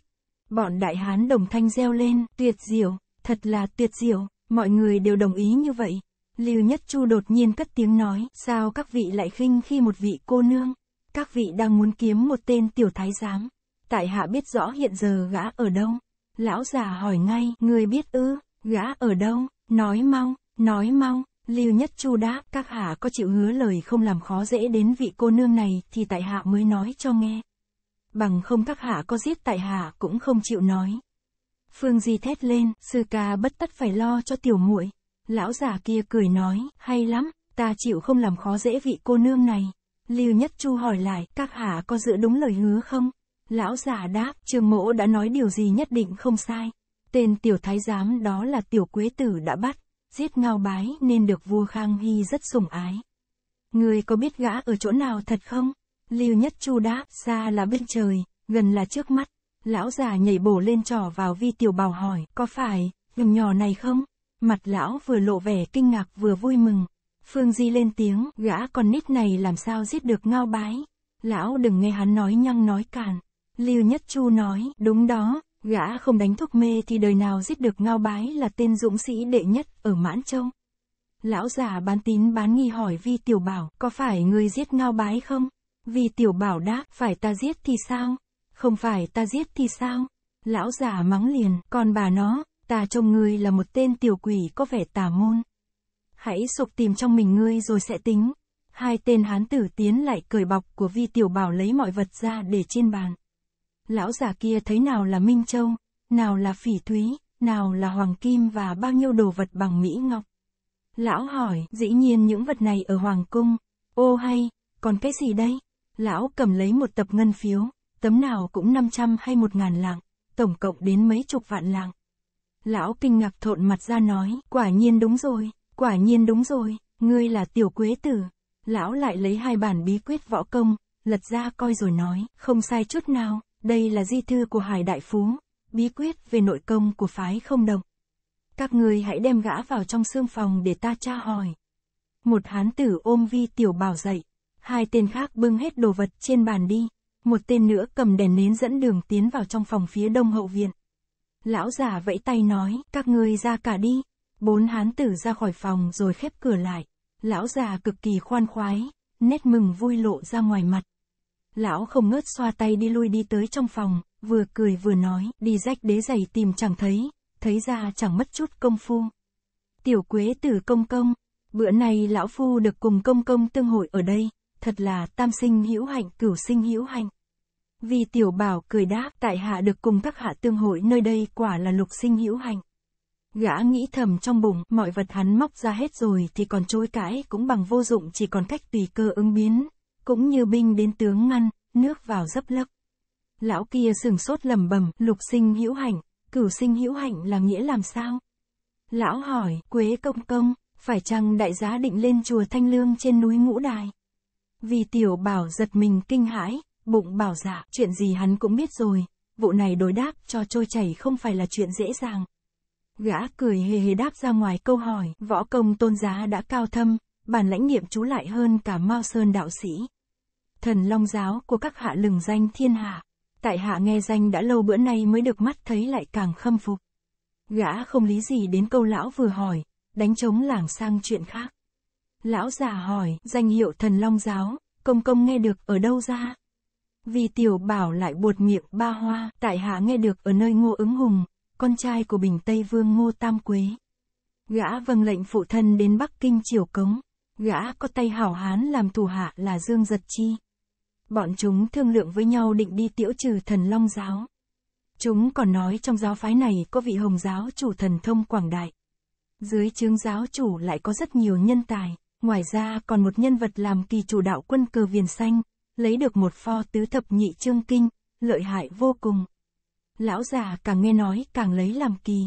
Ngô ứng hùng và Dương Giật Chi là hai nhân vật mà lão đã được nghe tên tuổi. Còn nhân vật trọng yếu giữ chức kỳ chủ màu cờ viền màu lam ở trong giáo phái vụ này rất cơ mật. Chính lão mới được nghe nói đến một tháng trước đây trong lúc ngẫu nhiên. Lão cũng phong thanh pho tứ thập nhị chương kinh gì đó, nhưng nội dung pho sách này thế nào thì lão chẳng hiểu chi hết. Lão vội hỏi, giữa Bình Tây Vương Phủ và Thần Long Giáo trước nay vốn không thủ oán, vì lẽ gì lại xảy chuyện thị phi? Vì tiểu bảo đáp, theo lời bọn ngô ứng hùng thì giữa Bình Tây Vương Phủ và Thần Long Giáo dĩ nhiên chẳng có thủ oán gì. Họ cũng khâm phục bản lãnh của Hồng Giáo chủ. Chỉ vì thần Long Giáo lấy được pho tứ thập nhị chương kinh là một bộ kỳ thư, họ nhất định đoạt lại cho bằng được. Vì tiểu bảo lại hỏi, phải chăng quy giáo còn một vị nữ đệ tử người béo mập, tên là Liễu Yến Đại Thư hiện đang ở trong Hoàng Cung. Lão già hỏi lại, sao công công biết y? Vì tiểu bảo nói nhăng nói càn, chỉ kết sao cho mình thoát ly khỏi mối liên quan với thần Long Giáo, đặng đánh bài tẩu mã. Hễ gã tìm được chuyện gì là lại vun vào để lão kia nghe cho khoái tai. Vì tiểu bảo xoay chuyển ý nghĩ trong đầu óc rồi đáp, vị liễu đại thư này có mối giao tình với tại hạ rất thân thiết. Một lần y đắc tội với Thái Hậu, ngài nổi giận toan hạ sát, may mà tại hạ ra sức cứu được đem giấu xuống gầm giường. Thái Hậu tìm khắp trong cung không thấy y, vị đại thư béo mập đó rất cảm kích tại hạ về cái ơn cứu mạng có khuyên tại hạ gia nhập thần long giáo. Y bảo hồng giáo chủ rất thích hạng trẻ con như tại hạ. Nếu gia nhập quý giáo ngày sau rất đắc dụng. Lão già, à, lên một tiếng, càng lộ vẻ tin tưởng. Lão hỏi, tại sao Thái hậu lại toan giết Liễu Yến? Bọn y, bọn y có điều gì không hay đâu. Vì tiểu bảo đáp, Liễu Đại Thư có câu chuyện rất bí mật. Y cho tại hạ hay rồi còn dặn phải bưng kín miệng mình không được tiết lộ với bất cứ một ai, dù là người thân thiết đến mấy cũng vậy. Lão giả toàn nói thì vi tiểu bảo đã cướp lời, tại hạ đã hứa lời với liễu đại thư giữ kín câu chuyện, nên không thể cho các hạ hay được. Gã ngừng lại một chút rồi tiếp luôn, trong cung từ ninh của Thái Hậu mới đây có một người đàn ông cải dạng nữ trang giả làm cung nữ. Người đó chọc đầu, lão già buột miệng nói luôn, đặng bình nam rồi, vụ đặng đại ca vào cung sao công công cũng biết. Nguyên vi tiểu bảo có hiểu đâu người cung nữ giả kia tên gọi đặng bình nam. Nhưng gã tỏ ra nét mặt chẳng chuyện gì không biết. Gã mỉm cười đáp, trương tam gia, vụ này cơ mật lắm đấy. Tam gia nhớ kỹ chớ có tiết lộ ra ngoài không mà phải vạ lớn. Vì tiểu bảo thấy lão già lộ vẻ tin tưởng mình, lại nói tiếp, tam gia nói với tại hạ thì không sao, nhưng nếu có người thứ ba ở đây, kể cả những tay thủ hạ rất thân tín, tam gia cũng đừng có môi hở răng lạnh. Lỡ ra bại lộ cơ mưu, Hồng giáo chủ nổi giận lôi đình thì e rằng tam gia phải gánh một phần trách nhiệm lớn. Vì tiểu bảo ở Hoàng Cung đã lâu, gã biết rõ tiết lộ việc cơ mật là một điều tối kỵ tại triều đình cũng như trong cung cấm. Tội nặng đến người chết nhà tan, nhẹ cũng vĩnh viễn không còn đường tiến thân. Vì thế người nào cũng lộ vẻ thần bí, cao thâm vô lường. Gã đưa ra bộ mặt như người hiểu hết mọi việc mà không tiện nói với đối phương. Thái độ của gã áp dụng với lão già họ trương rất công hiệu. Đó là phương pháp của những người thượng cấp trong các bang hội hoặc môn phái trên chốn giang hồ thường lợi dụng đối với bọn thuộc hạ. Phương pháp này cũng được sử dụng ở cả trong triều nữa, chỉ khác nhau ở chỗ tinh tế hay thô sơ mà thôi. Lão già nghe Vi Tiểu Bảo nói mấy câu không khỏi hồi hộp trong lòng, lông tóc đứng dựng cả lên. Lão tự trách sao ta lại sơ tâm đem cả chuyện này nói với thằng lỏi con. Việc đã chót rồi không thể để gã sống được.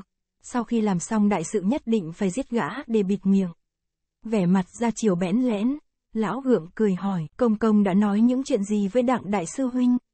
Vì tiểu bảo đáp, tại hạ nói chuyện cơ mật với đặng đại sư huynh, y còn dặn những lời báo cáo với hồng giáo chủ. Để mai đây tại hạ ra mắt giáo chủ sẽ bẩm lại một cách tường tận. Lão già càng kinh hãi hơn nói, dạ, dạ dạ, lão bị vi tiểu bảo làm bộ làm tịch hăm dọa mấy câu, không hiểu rõ lai lịch ngã như thế nào. Bụng bảo giả thượng cấp phái bọn mình đi làm việc này, nếu nhanh chân được trước, đê em yên là một công lao rất lớn. Muốn tìm tới người kia phải trông vào thằng nhỏ này. Lão già trở lại nét mặt niềm nở hỏi, tiểu huynh đệ, chuyến này tiểu huynh đệ lên ngũ đài sơn phải chăng là để hội diện với thị vệ phó tổng quản là Thụy Đống? Vì tiểu bảo cũng giật mình nghĩ thầm, thằng cha này đã biết ta lên ngũ đài sơn lại hiểu cả công việc của Thụy Đống thì tin tức này nhất định do mụ điếm giả cho hắn hay và phái hắn rượt theo ta. Gã lại tự nhủ, tên chọc đầu giả làm cung nữ mà mụ điếm kêu bằng sư huynh đúng là đại sư huynh trong bọn môn đồ thần long giáo. Té ra mụ điếm cấu kết với giáo phái này. Vậy mà lão gia đã lọt vào tay chúng thì thực là 9 phần chết, chỉ còn một phần sống. Có khi còn nguy hiểm gấp đôi tức là 18 phần chết, chỉ có nửa phần sống. Gã làm bộ kinh dị đáp, trương tam gia, những tin tức mà tam gia lượm được rất tinh thâm. Tam gia biết cả công việc của thủy phó tổng quản. Lão già mỉm cười ngắt lời, cả đến nhân vật cao xa gấp vạn lần thủy phó tổng quản ta đây cũng biết. Vì tiểu bảo than thầm trong bụng, hỏng bét, hỏng bét, việc gì mụ điếm già cũng nói với hắn hết rồi. Ngoài thuận trị hoàng đế thì còn nhân vật nào cao cả hơn Thụy Đống gấp vạn lần. Lão già lại hỏi, tiểu huynh đệ, ta tưởng tiểu huynh đệ không nên nói dối ta bất cứ là việc gì. Người lên ngũ đài sơn chuyến này là vâng lệnh trên hay tự mình ra đi? Vì tiểu bảo đáp, tại hạ làm thái giám ở trong cung, nếu không vâng lệnh trên sai phái, khi nào dám thiện tiện rời khỏi kinh thành? Chẳng lẽ tại hạ sợ mình sống lâu quá, Lão già hỏi, tiểu huynh đệ nói vậy thì ra đã vâng lệnh hoàng thượng mà đi chăng? Vì tiểu bảo lộ vẻ kinh dị hỏi lại, hoàng thượng ư, ai bảo là hoàng thượng? Ha ha, tin tức này của tam gia không linh rồi. Hoàng thượng làm gì mà biết được việc ngũ đài sơn? Lão già hỏi, chẳng phải hoàng thượng thì ai phái ngươi đi? Vì tiểu bảo đáp, trương tam gia thử đoán coi. Lão già hỏi, phải chăng là thái hậu? Vì tiểu bảo cười đáp, trương tam gia quả nhiên giỏi thiệt. Việc gì cũng đoán đúng. Trong cung chỉ có hai người và một con quỷ là biết việc ngũ đài sơn. Lão già hỏi, hai người là ai? Con quỷ nào? Vì tiểu bảo đáp, hai người thì một là Thái Hậu và hai là Tại Hạ. Còn con quỷ là Hải Đại Phú Lão Công. Lão đã bị Thái Hậu dùng, hóa cốt miên trường, hạ sát rồi và biến thành quỷ. Lão già ra mặt co rúm lại, nói, hóa cốt miên trường, hóa cốt miên trường, té ra Thái Hậu phái ngươi đi. Thái hậu phái ngươi đi làm gì? Vì tiểu bảo tùm tìm cười đáp giữa Thái hậu và Tam gia là người một nhà. Vậy Tam gia hỏi lão nhân gia sẽ biết. Giả tỷ lúc mới vào phòng mà vi tiểu bảo nói câu này thì e rằng lão giả đã đánh cho gã một cái bạt tai. Nhưng bây giờ lão nghe gã thuyết phục một hồi, trong lòng khôn xiết kinh nghi, miệng lẩm bẩm, hừ, Thái hậu sai ngươi lên ngũ đài sơn. Vì tiểu bảo lại nói, Thái hậu còn điều vụ này đã nói cho Hồng giáo chủ hay và được Hồng giáo chủ hết sức tán thành. Thái hậu dặn tại hạ làm được chu đáo thì sau khi xong việc ngài sẽ trọng thường và Hồng giáo chủ cũng dành cho tại hạ một chỗ tử tế. Gã không ngớt nhắc đi nhắc lại ba chữ Hồng giáo chủ vì thấy lão rất sợ giáo chủ, tất không dám hại gã. Vì tiểu bảo hư trương thanh thế, lão già kia bán tín bán nghi, lão lẩm bẩm, ta hãy tạm tin là có còn hơn bảo là không. Lão liền hỏi, sáu người ở ngoài kia có phải chăng đều là bộ thuộc của công công? Vì tiểu bảo đáp, bọn họ đều là người ở trong cung. Hai vị cô nương là cung nữ thân tín kề cận Thái Hậu. Còn bốn người đàn ông toàn là ngự tiền thị vệ. Bọn chúng không biết gì đến danh hiệu thần long giáo. Vụ này rất cơ mật, nên Thái Hậu không cho họ hay. Gã vừa nói tới đây thấy lão già cười lạc biết là có điều bất diệu. Liền hỏi, sao, trương tam gia không tin chăng? Lão già cười lạt đáp, mộc gia ở Vân Nam dốc giả trung kiên với nhà đại minh có lý đâu lại làm ngự tiền thị vệ ở Thanh Cung. Tiểu huynh đệ hoang đường một cách tối vô lý vi tiểu bảo nổi lên chàng cười hô hố. Tiếng cười có vẻ chế nhạo. Lão già ngạc nhiên hỏi, tiểu huynh đệ cười gì vậy? Lão có biết đâu vi tiểu bảo nói dối bị lộ tẩy, khó mà gỡ lại được liền nổi lên chàng cười rộ làm cho đối phương tưởng mình có điều gì lầm lỗi tày đình. Lấm lỗi đến trình độ quá ấu trĩ, khiến gã không nhịn nổi phải phi cười. Mục đích của vi tiểu bảo là đánh đòn cân não cho lão già phải nôn nao trong dạ. giả Nhụt bớt nhuệ khí rồi gã mới sửa chữa những chỗ sơ hở cho câu chuyện thành hữu lý thì đối phương không dám vặn hỏi đến cùng nữa. Vì tiểu bảo vẫn cười đáp những người mà Mộc Vương Phủ căm hận nhất chẳng phải là Thái Hậu và Hoàng thượng. Tại hạ e rằng tam gia cũng không biết người đó là ai. Lão già vênh mặt lên nói, sao ta lại không biết? Dĩ nhiên Mộc Vương Phủ căm hận nhất là Ngô Tam Quế. Vì tiểu bảo làm bộ kinh dị đáp, thế thì tam gia thánh thật. Vụ này tại hạ nói cho tam gia hay xin tam gia kín chuyện. Mộc Vương Phủ phái người vào làm sai dịch cho Thái Hậu cũng chỉ vì mục đích muốn trừ diệt cả nhà Ngô Tam Quế. Trong phủ Bình Tây Vương rồi đây con gà, con chó cũng không sống sót. Đừng nói trong Hoàng Cung có người của Mộc Vương Phủ trà trộn vào, ngay ở phủ Bình Tây Vương cũng vậy. Đây là chuyện cơ mật, tại hạ coi tam gia là chỗ người nhà, nói ra cũng chẳng hề chi, chỉ mong tam gia đừng tiết lộ ra ngoài. Lão già gật đầu nói, té ra là thế, nhưng trong bụng lão chỉ tin gã có phần nửa. Lão tự nhủ, ta thử tra hỏi mấy người ngoài kia xem khẩu cung của họ có tương hợp với gã không? Ta chỉ cần hỏi con nhỏ là ra hết, vì trẻ con chưa biết nói dối. Lão nghĩ vậy rồi xoay mình đẩy cửa bước ra. Vì tiểu bảo hốt hoảng la lên, ôi, ôi, tam gia đi đâu vậy? Đây là nhà ma quỷ mà tam gia, tam gia để một mình tại hạ ở lại thế nào được? Lão giả đáp, ta chỉ đi một lát rồi trở lại ngay. Lão xoay tay đóng cửa, rào bước chạy ra nhà đại sành. Bàn tay vi tiểu bảo ướt đẫm mồ hôi. Hồn vía, gã muốn bay lên trời. Đèn lửa lay động in bóng vào bức tường trắng xóa. Mỗi cái bóng lập lòe, Dung Dinh là một tên quỷ sứ đối với vi tiểu bảo trong lúc này. Bốn bề im lặng như tờ, tuyệt không một tiếng động. Đột nhiên bên ngoài có tiếng người hô hoán, các người đi đâu cả rồi? Chính là âm thanh lão già. Vi tiểu bảo nghe tiếng hô đầy vẻ kinh hoàng. Gã đang sợ bờ vía thấy vậy càng khiếp đảm cơ hồ ngất xỉu. Gã lắp bắp hỏi, không, không thấy bọn họ, đâu ư? Lão già vẫn tiếp tục kêu gọi, các người ở chỗ nào? Các người đi đâu rồi? Sau hai câu này, tiếng người lại im bặt. Hồi lâu mới nghe tiếng một người chạy từ phía trước vào phía sau rồi lại chạy ra. Bỗng cánh cửa bị đá, binh, một cái. Người đó chạy tới xông vào phòng. Vì tiểu bảo kêu thét lên. Lão già sắc mặt xanh lè, hai mắt trợn ngược, thở hồng hộc, vừa thở vừa nói, bọn chúng, bọn chúng, mất biến cả rồi, không biết đi đâu. Vì tiểu bảo ấp úng, chắc bị, ác quỷ, bắt hết rồi. Chúng ta phải trốn cho mau. Lão già vẫn còn thò hồn hển đáp, làm gì có chuyện đó.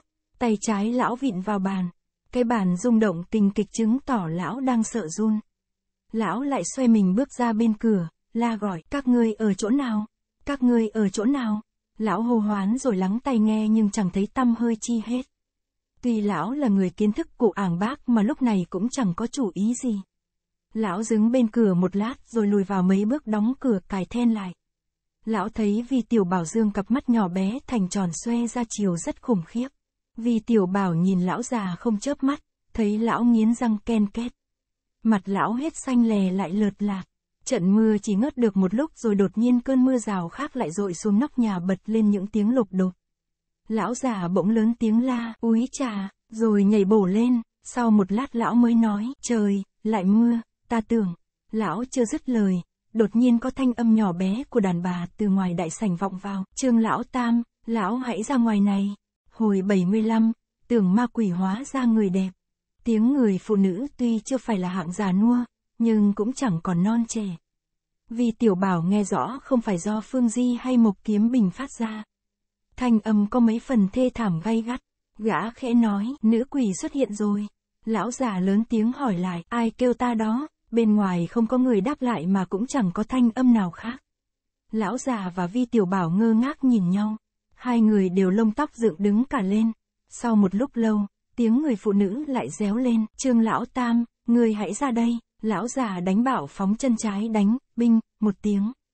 Cánh cửa phòng hất tung bay ra ngoài, nhưng còn cái then nằm ngang trong khuôn cửa. Lão lại phóng trưởng đánh, rắc, một cái. Then cửa bị gãy ngay quãng giữa. Người lão liền chuồn ra. Vì tiểu bảo hốt hoảng la, tam gia chớ ra ngoài. Nhưng lão già đã chạy vọt về phía nhà đại sảnh. Khi lão tới nơi thì trong nhà lặng ngắt như tờ không một tiếng động. Đã không tiếng người quát tháo, lại cũng chẳng thấy tiếng bước chân.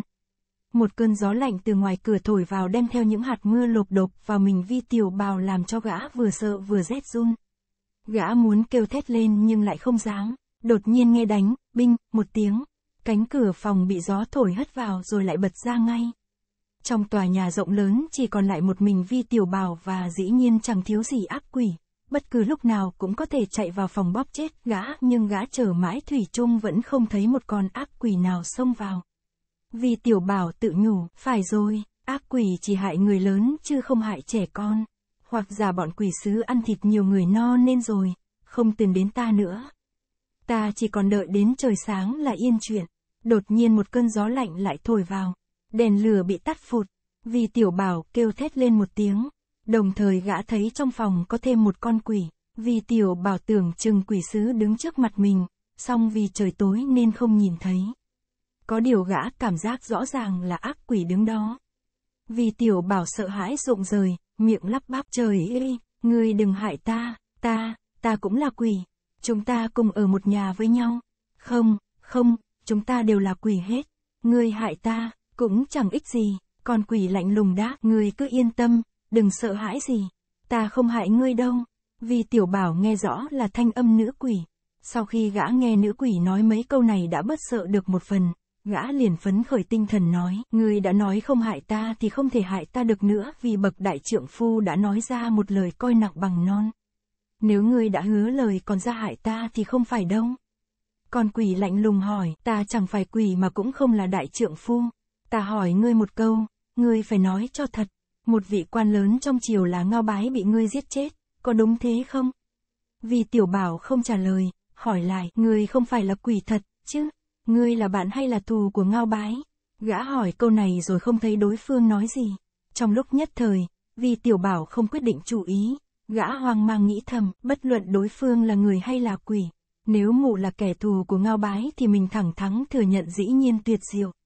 Nhưng nếu mụ là người nhà hoặc bộ thuộc của ngao bái mà cũng thừa nhận thì hỏng bét. Đột nhiên nết đánh bạc lại nổi lên. Gã tự nhủ, Âu là ta đánh bạc một phen. Được ăn cả ngã về không? Nếu trúng nước bạc thì mụ coi ta là một vị đại lão gia. Bằng thất bại thì cả cái mạng này cũng thua hết nhẵn.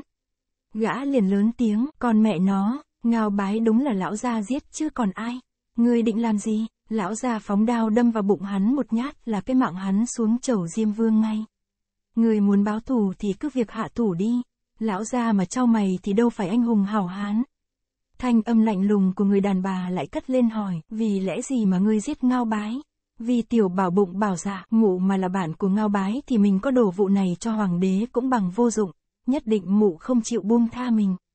Tiếng bạc đã được cuộc rồi, nếu lão gia mà thua thì thua cháy túi, bằng được thì lại được rất lớn. Gã liền lớn tiếng đáp, ngao bái nắm hết quyền binh trong triều lại sát hại biết bao nhiêu lương dân chăm họ. Lão gia tuy nhỏ tuổi nhưng cũng nổi lòng nghĩa phấn, may gặp cơ hội hắn đắc tội với hoàng đế nên lão gia thừa cơ giết chết hắn. Gã ngừng lại một chút rồi nói tiếp, bậc đại trưởng phu mình là mình chịu. Ta nói thật cho ngươi hay, dù tên cầu tặc ngao bái chẳng đắc tội với hoàng đế ta cũng kiếm cơ hội ngấm ngầm hạ thủ để báo thủ tuyết hận cho trăm họ trong thiên hạ đã phải khổ sở vì hắn. Mấy câu này vi tiểu bảo học được ở miệng những người trong thanh mộc đường, ở thiên địa hội thường nói đến, gã đã thuộc lòng. Thực ra gã giết ngao bái chỉ là vâng lệnh vua Khang Hy, chứ chẳng có phần nào vì trăm họ trong thiên hạ mà báo cửu tuyết hận. Vì tiểu bảo thuyết một hồi mà người đàn bà trước mặt vẫn lặng lặng không nói gì. Trái tim gã đập thình thình không hiểu nước bạc của mình đánh. Sau một lúc khá lâu, gã bỗng cảm thấy tiếng gió nhẹ nhẹ vang lên. Nữ nhân kia chẳng hiểu có phải là nữ quỷ hay không lướt ra ngoài phòng. Vì tiểu bảo lắc lư mấy cái, nhưng huyệt đạo bị điểm chân tay không cử động được. Gã chửi thầm, mẹ kiếp, con xúc sắc cứ xoay hoài không dừng lại khiến cho mình nao nao trong dạ. Gã hồi hộp một lúc rồi tự nhủ, đã có gan đánh canh bạc lớn tha phi được hay thua cũng chẳng kể gì. Bây giờ gã bình tĩnh lại và càng nghĩ càng cảm thấy cái bóng trước mặt vừa rồi đối với gã là ma quỷ chứ không phải là người. Cánh cửa bị gió lay vang lên những tiếng kéo kẹt. Quần áo gã chưa khô, từng cơn gió lạnh lùa vào khiến gã không nhịn được phải phát run. Đột nhiên một làn ánh sáng xuất hiện từ đằng xa, dần dần chuyển gần lại. Vì tiểu bảo kinh hãi lẩm bẩm, ma chơi, ma chơi, làn ánh sáng mỗi lúc một gần. Sau trông rõ thì ra một cái đèn lồng do một tên nữ quỷ áo trắng cầm dơ lên và tiến lại. Vì tiểu bảo vội nhắm chặt hai mắt, gã nghe rõ tiếng bước chân lạo xạo đi tới trước mặt rồi dừng lại. Gã khiếp đảm cơ hồ nghẹt thở, bỗng nghe thanh âm một thiếu nữ vừa cười vừa hỏi, sao ngươi lại nhắm nghiền hai mắt, giọng nói rất ôn nhu lọt tai. Vì tiểu bảo đáp, ngươi đừng nhát ta nữa. Ta, ta không dám nhìn ngươi. Nữ quỷ lại cười hỏi, phải chăng ngươi sợ ngó thấy ta thất khiếu ưa máu, lưỡi thỏ dài ra. Ngươi thử hé mắt coi xem. Vì tiểu bảo đáp, ta không mắc bẫy ngươi đâu. Ngươi là con quỷ đầu tóc rũ rượi, thất khiếu ưa máu, thì đẹp tốt gì mà coi. Nữ quỷ lên tiếng cười khanh khách thổi hơi vào mặt gã. Vì tiểu bảo cảm thấy làn hơi thổi vào mặt mình vừa ấm áp vừa thoang thoảng có mùi hương. Gã liền mở hé mắt bên trái một chút để ngó xem thì phẳng phất thấy một gương mặt trắng như tuyết. Cặp lông mày cong vút, cái miệng bé nhỏ cười tươi như hoa. Gã liền dương to cặp mắt ra nhìn thì thấy trước mặt mình là một thiếu nữ tướng mạo thanh tú, lối 14, 15 tuổi. Tóc cô kết lại thành hai trái đào ở hai bên đỉnh đầu. Cô đang cười hì hì nhìn gã. Bây giờ vì tiểu bảo đã chấn tĩnh tâm thần, không sợ hãi gì nữa. Gã hỏi, người không phải là ma quỷ thật chứ? Thiếu nữ mỉm cười đáp, dĩ nhiên ta là ma quỷ chết treo. Vì tiểu bảo trưng hừng, trong lòng lại kinh nghi không hiểu là người hay là ma. Thiếu nữ lại cười hỏi, lúc người giết ác nhân thì táo tợn thế mà sao bây giờ ngó thấy quỷ chết treo lại nhát gan như vậy? Vì tiểu bào thở phào một cái đáp, ta không sợ ngươi mà chỉ sợ ma quỷ. Thiếu nữ cười khanh khách hỏi, ngươi bị người ta điểm trúng những huyệt đạo nào? Vì tiểu bảo đáp, ta biết thế nào được. Thiếu nữ nắn bóp vai và cạnh sườn gã mấy cái, rồi khẽ đập ba trường vào sau lưng gã. Hai tay vi tiểu bảo liền cử động được ngay. Gã giơ tay lên cười nói, ngươi cũng biết giải khai huyệt đạo. Thật là tuyệt diệu. Thiếu nữ đáp, ta mới học được gần đây. Bữa nay là lần thứ nhất ta thử giải huyệt cho ngươi. Cô lại nắn dưới nách và sau lưng gã mấy cái. Vì tiểu bảo nhảy lên cười nói, không được, không được, ta sợ nhột lắm, nhưng chỉ có bấy nhiêu, hai chân gã bị điểm huyệt cũng được giải khai. Gã vươn tay ra cười nói, người cù lét làm ta nhột, thì bây giờ ta cù lét giả ngươi. Gã vừa nói vừa tiến lại một bước, thiêu nữ thẻ lưỡi ra làm quỷ nhát, nhưng mặt quỷ rất khả ái, chẳng có chút chi đáng sợ. Vì tiểu bảo thỏ tay ra toan chụp lấy lưỡi cô. Thiếu nữ liền quay đầu đi né tránh rồi cười khanh khách hỏi, người không sợ chết treo ư? Vì tiểu bảo đáp, ngươi có thân hình lại có khi nóng. Vậy ngươi là người, chứ không phải ma quỷ. Thiếu nữ trợn mắt lên nói, ta không phải là ma, nhưng là quỷ nhập tràng. Vì tiểu bảo sửng sốt, dưới ánh đèn gã thấy mặt cô lúc đỏ lúc hồng lúc trắng bạch, liền cười nói, quỷ nhập tràng không co chân được cũng không biết nói. Thiếu nữ phì cười bảo, nếu vậy thì nhất định ta là hồ ly tinh. Vì tiểu bảo cười nói, ta không sợ hồ ly tinh. Gã truyền ra đằng sau thiếu nữ giòm ngó. Cô cười nói, ta là hồ ly tinh tu luyện hàng ngàn năm, đạo hạnh rất sâu xa không còn đuôi nữa. Vì tiểu bảo nói, người là hồ ly tinh mà xinh đẹp thế này thì ta có bị ngươi mê hoặc phải chết uổng cũng đáng đời. Thiếu nữ hơi đỏ mặt lên đưa ngón tay chỉ vào má chế nhạo gã, thế mà không biết sống. Vừa mới sự ô ma sợ quỷ là thế, bây giờ đã nói chuyện lẳng lơ rồi. Vì tiểu bảo sợ nhất là thứ cụ ý nhập tràng, thứ hai sợ ma. Còn hồ ly tinh gã lại không sợ. Gã nhìn thấy thiếu nữ này vui vẻ dễ bề thân cận còn hơn cả Phương Di và Mộc Kiếm Bình, liền cười hỏi, cô nương, tên họ cô nương là chi? Thiếu nữ đáp, tiện thiếp là song nhi, chữ song là một đôi. Vì tiểu bảo hỏi, thế thì hay lắm, nhưng không hiểu một đôi giày hay là đôi bít tất hôi thối. Song Nhi cười đáp, tất hôi cũng được hay giày thơm cũng được. Cái đó tùy ở nơi công công. Quế công công, người công công ướt đầm đìa, chắc là khó chịu lắm. Mời công công vào trong kia thay đổi quần áo khô mà mặc.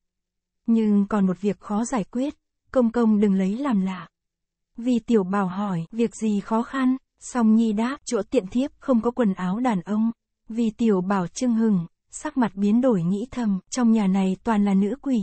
Song nhi không biết trong lòng gã nghĩ gì. Thị dơ cao đèn lồng lên nói, mời công công qua bên này. Vì tiểu bảo ngần ngại không đi. Song nhi đã đi đến bên cửa, quay lại chờ gã mỉm cười hỏi, phải chăng công công sợ mặc y phục đàn bà có điều bất lợi. Thôi đánh thế này vậy, công công lên giường nằm để tiện thiếp hơ quần áo cho. Vì tiểu bảo thấy thị lộ vẻ ôn nhu, không nữa chối từ liền đi theo thị ra khỏi cửa phòng rồi hỏi, có phải những người đồng bọn với tại hạ đều ở bên đó không? Song Nhi tụt lùi lại hai bước sóng vai với vì tiểu bảo khẽ nói, tam thiếu nhưng đã căn dặn tiện thiếp không được nói nhiều mà phải chờ công công dùng điểm tâm xong để tam thiếu nhưng sẽ đến nói chuyện với công công. Vì tiểu bảo bụng đói như cào ruột, nghe nói có điểm tâm, liền phấn khởi tinh thần. Song Nhi dẫn gã xuyên qua dãy hành lang tối tăm đến một gian phòng. Trên bàn có đặt đèn nến sáng trưng, căn phòng này chỉ có một cái bàn và một cái giường. Cách trần thiết rất sơ sài nhưng thật sạch sẽ. Trên giường có đủ chăn đệm. Song Nhi mở góc chăn lên, buông rèm xuống rồi nói, Quế công công, công công lên giường cởi quần áo liệng ra cho tiện thiếp. Vì tiểu bảo theo lời lên giường cởi quần áo, chuồn vào trong chăn rồi liệng quần áo ra ngoài màn. Song Nhi đón lấy đi ra cửa, quay lại hỏi, tiện thiếp đi lấy đồ điểm tâm. Công công thích ăn bánh ngọt hay bánh mặn? Vì tiểu bảo cười đáp, bụng đã đói meo thì dù là bánh đất bùn cũng ăn được ba bốn tấm. Song Nhi vừa cười vừa đi ra. Sau một lúc, vì tiểu bảo nhìn thấy mùi thịt, mùi đường thơm tho.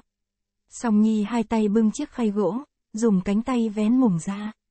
Vì tiểu bảo ngó thấy trên đa đặt bốn tấm bánh trưng bóc sẵn, trong lòng rất đỗi vui mừng. Gã cầm đũa gắp ăn ngay, mùi vị ngon ngọt khác thường, gã ăn hai miếng hết nửa tấm rồi nói, song nhi, bánh này giống bánh trưng ở Hồ Châu, ăn thật ngon miệng. Nguyên đất Hồ Châu tỉnh Chiết Giang chuyên sản xuất bánh trưng nấu rất nhừ và rất ngon, khắp thiên hạ không đâu bằng. Tại thành Dương Châu có tiệm bánh trưng Hồ Châu, khách làng chơi trong lệ xuân viện thường sai Vi Tiểu Bảo đi mua cho họ ăn. Bánh trưng này gói bằng lá rong, Vi Tiểu Bảo muốn ăn vụng cũng khó. Gã liền bóp góc tấm bánh cho lòi ra để nếm. Từ ngày gã tới Bắc Kính không được ăn bánh trưng Hồ Châu nữa. Song Nhi hơi kinh ngạc hỏi, công công thật là biết người biết của, gọi ra được bánh trưng Hồ Châu. Vì tiểu bảo vừa nhai vừa hỏi, đây là bánh trưng Hồ Châu thật ư? Địa phương này làm sao mua được bánh trưng ở Hồ Châu? Song Nhi đáp, không phải mua đâu, đó là, hi hi, hồ ly tinh dùng phép thuật chế biến ra. Vì tiểu bảo cười nói, hồ ly tinh thần thông quảng đại. Đột nhiên gã nhớ tới bọn trương lão tam liền thêm vào một câu, thọ ngang thượng đế. Song Nhi cười nói, công công thùng thẳng ăn bánh đi. Tiện thiếp lấy lửa hơ quần áo cho công công. Thị đi được một bước quay lại hỏi, công công có sợ không? Vì tiểu bảo trong lòng đã bớt đi quá nửa phần sợ hãi, nhưng cũng còn hơi hồi hộp đáp, cô nương đi mau rồi trở lại nghe. Song Nhi, dạ, một tiếng đoạn chờ gót đi ngay. Chỉ trong khoảnh khắc, vì tiểu bảo nghe tiếng, xèo xèo. Song Nhi đã đem vào một cái hỏa lò, thị vắt quần áo lên bàn vừa hơ áo vừa bồi tiếp. Bốn tấm bánh trưng, hai tấm ngọt, hai tấm mặn. Vì tiểu bảo ăn hết ba chiếc no bụng rồi hỏi, bánh ngon quá, có phải cô nương gói không? Song Nhi đáp, tam thiếu nhưng điều chế vật liệu, tiện thiếp chỉ gói thôi. Vì tiểu bảo nghe thị nói khẩu âm Giang Nam, bất giác động tâm hỏi, phải chăng các vị người ở Hồ Châu? Song Nhi nghe Vi tiểu bảo hỏi vậy, ngần ngừ không đáp, thị hỏi lại, quần áo khô cả rồi, quế tướng công vào yết kiến tam thiếu nhưng mà hỏi y được không? Thị ăn nói dịu dàng lại cực kỳ cung kính, vì tiểu bảo đáp, được lắm, có điều chi không được. Gã vén mùng lên nhìn song nhi hơ áo, thị cũng ngừng đầu lên ngó gã mỉm cười nói, tướng công chưa mặc quần áo. Phải coi chừng trời lạnh, vì tiểu bảo lại nổi tính tinh nghịch, nhô mình ra nói, tại hạ chẳng cần mặc quần áo nhảy ra ngoài cũng không biết rét. Song nhi giật mình kinh hãi, nhưng lại thấy vi tiểu bảo tụt vào toàn thân đắp chăn kín mít, cả đầu cũng không hở ra ngoài, bất giác thị bật lên tiếng cười khúc khích.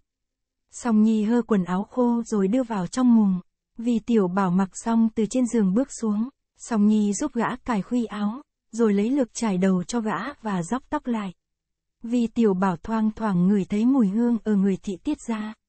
Trong lòng khoan khoái, gã hỏi, té ra hồ ly tinh là con người tốt thế này đây. Song Nhi bĩu môi cười đáp, hồ ly tinh, hồ ly tinh, khó nghe quét, tiện thiếp không phải hồ ly tinh.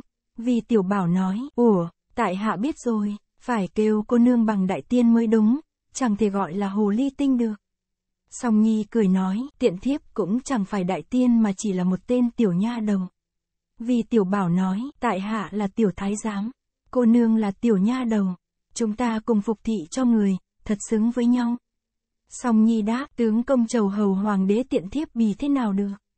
Hai bên khác nhau một trời một vực, thị vừa nói vừa dóc tóc cho vi tiểu bảo. Thị lại hỏi, tiện thiếp không biết dóc tóc cho nam nhân, chẳng hiểu có coi được không? Vi tiểu bảo cầm đuôi sam đưa ra phía trước ngực coi rồi đáp, đẹp quá rồi, tại hạ lười nhất là dóc tóc, nếu ngày nào cũng được cô nương làm giúp thì hay quá. Song Nhi nói, tiện thiếp làm gì có phước như vậy? Tướng công là một bậc đại anh hùng. Tiện thiếp là tiểu nha đầu mà bữa nay được dóc tóc cho tướng công một lần cũng là kiếp trước khéo tu lắm rồi. Vì tiểu bảo la lên, trời ơi, cô nương là một vị giai nhân dóc tóc cho tại hạ thì đúng là tại hạ kiếp trước đã dày công tu hành, gõ thủng đến 18 cái mõ. Song Nhi đỏ mặt lên nói, tiện thiếp nói vậy là chân thật mà tướng công lại cho là trò đùa. Vì tiểu bảo đáp, không phải đâu, tại hạ cũng nói với cả một tấm lòng thành thật. Song Nhi mỉm cười nói, tam thiếu nhưng bảo nếu quế tướng công vui lòng thì xin mời rời gót vào hậu đường ngồi chơi. Vì tiểu bảo hỏi, được lắm, tam thiếu gia của cô nương có nhà không? Song Nhi, ồ, một tiếng rồi khẽ đáp, người đã qua cố rồi. Vì tiểu bảo chợt nhớ tới bao nhiêu linh đường ở các gian nhà, lòng gã lại hồi hộp, không dám hỏi nữa. Gã theo Song Nhi vào một gian hoa sảnh trong hậu viện. Vì tiểu bảo ngồi chờ một lúc thì Song Nhi bưng trà ra. Gã đang uống trà, bỗng nghe có tiếng bước chân nhẹ nhàng từ phía sau vách ván đi ra. Đây là một thiếu phụ toàn thân áo trắng. Nàng cất tiếng, phiền quế tướng công phải một phen tân khổ. Nàng nói rồi chúc mấy câu vạn phúc. Thái độ cực kỳ cung kính. Vì tiểu bảo vội vàng đáp lễ nói, tại hạ không dám. Thiếu phụ nói, mời quế tướng công ngồi chơi. Vì tiểu bảo nhìn kỹ thiếu phụ thấy nàng vào chạc 24, 25 tuổi. Nàng không tô điểm son phấn, sắc mặt lợt lạc, cặp mắt đỏ hoe. Hiển nhiên nàng vừa mới khóc, dưới ánh đèn vi tiểu bảo nhìn rõ thân hình, dù âm khí nặng nề nhưng chắc không phải ma quỷ. Trong lòng vẫn băn khoăn, gã đáp, dạ dạ, rồi nghiêng mình ngồi xuống ghế, nói, tam thiếu nhưng, đa tạ tam thiếu nhưng đã cho ăn bánh trưng hồ châu, thật là ngon miệng. Thiếu phụ nói, vong phu họ trang, quế công công xưng hô tiện thiếp là tam thiếu nhưng, tiện thiếp không dám. Quế tính công ở trong cung bao lâu rồi? Vì tiểu bảo nghĩ bụng, lúc trong bóng tối có người đàn bà hỏi về việc giết ngao bái. Ta thừa nhận chính mình hạ sát, rồi bọn họ phái một tiểu nha đầu đem bánh cho ăn thì chắc là ta trúng tiếng bạc này. Gã đáp, tại hạ mới vào cung được hai năm. Trang phu nhân hỏi, Quế tiến công có thể đem việc giết gian tướng ngao bái kể cho tiện thiếp nghe được chăng? Vì tiểu bảo thấy trang phu nhân kêu ngao bái bằng gian tướng càng vững dạ. Gã liền kể việc vua Khang Hy hạ lệnh ra tay cầm nã.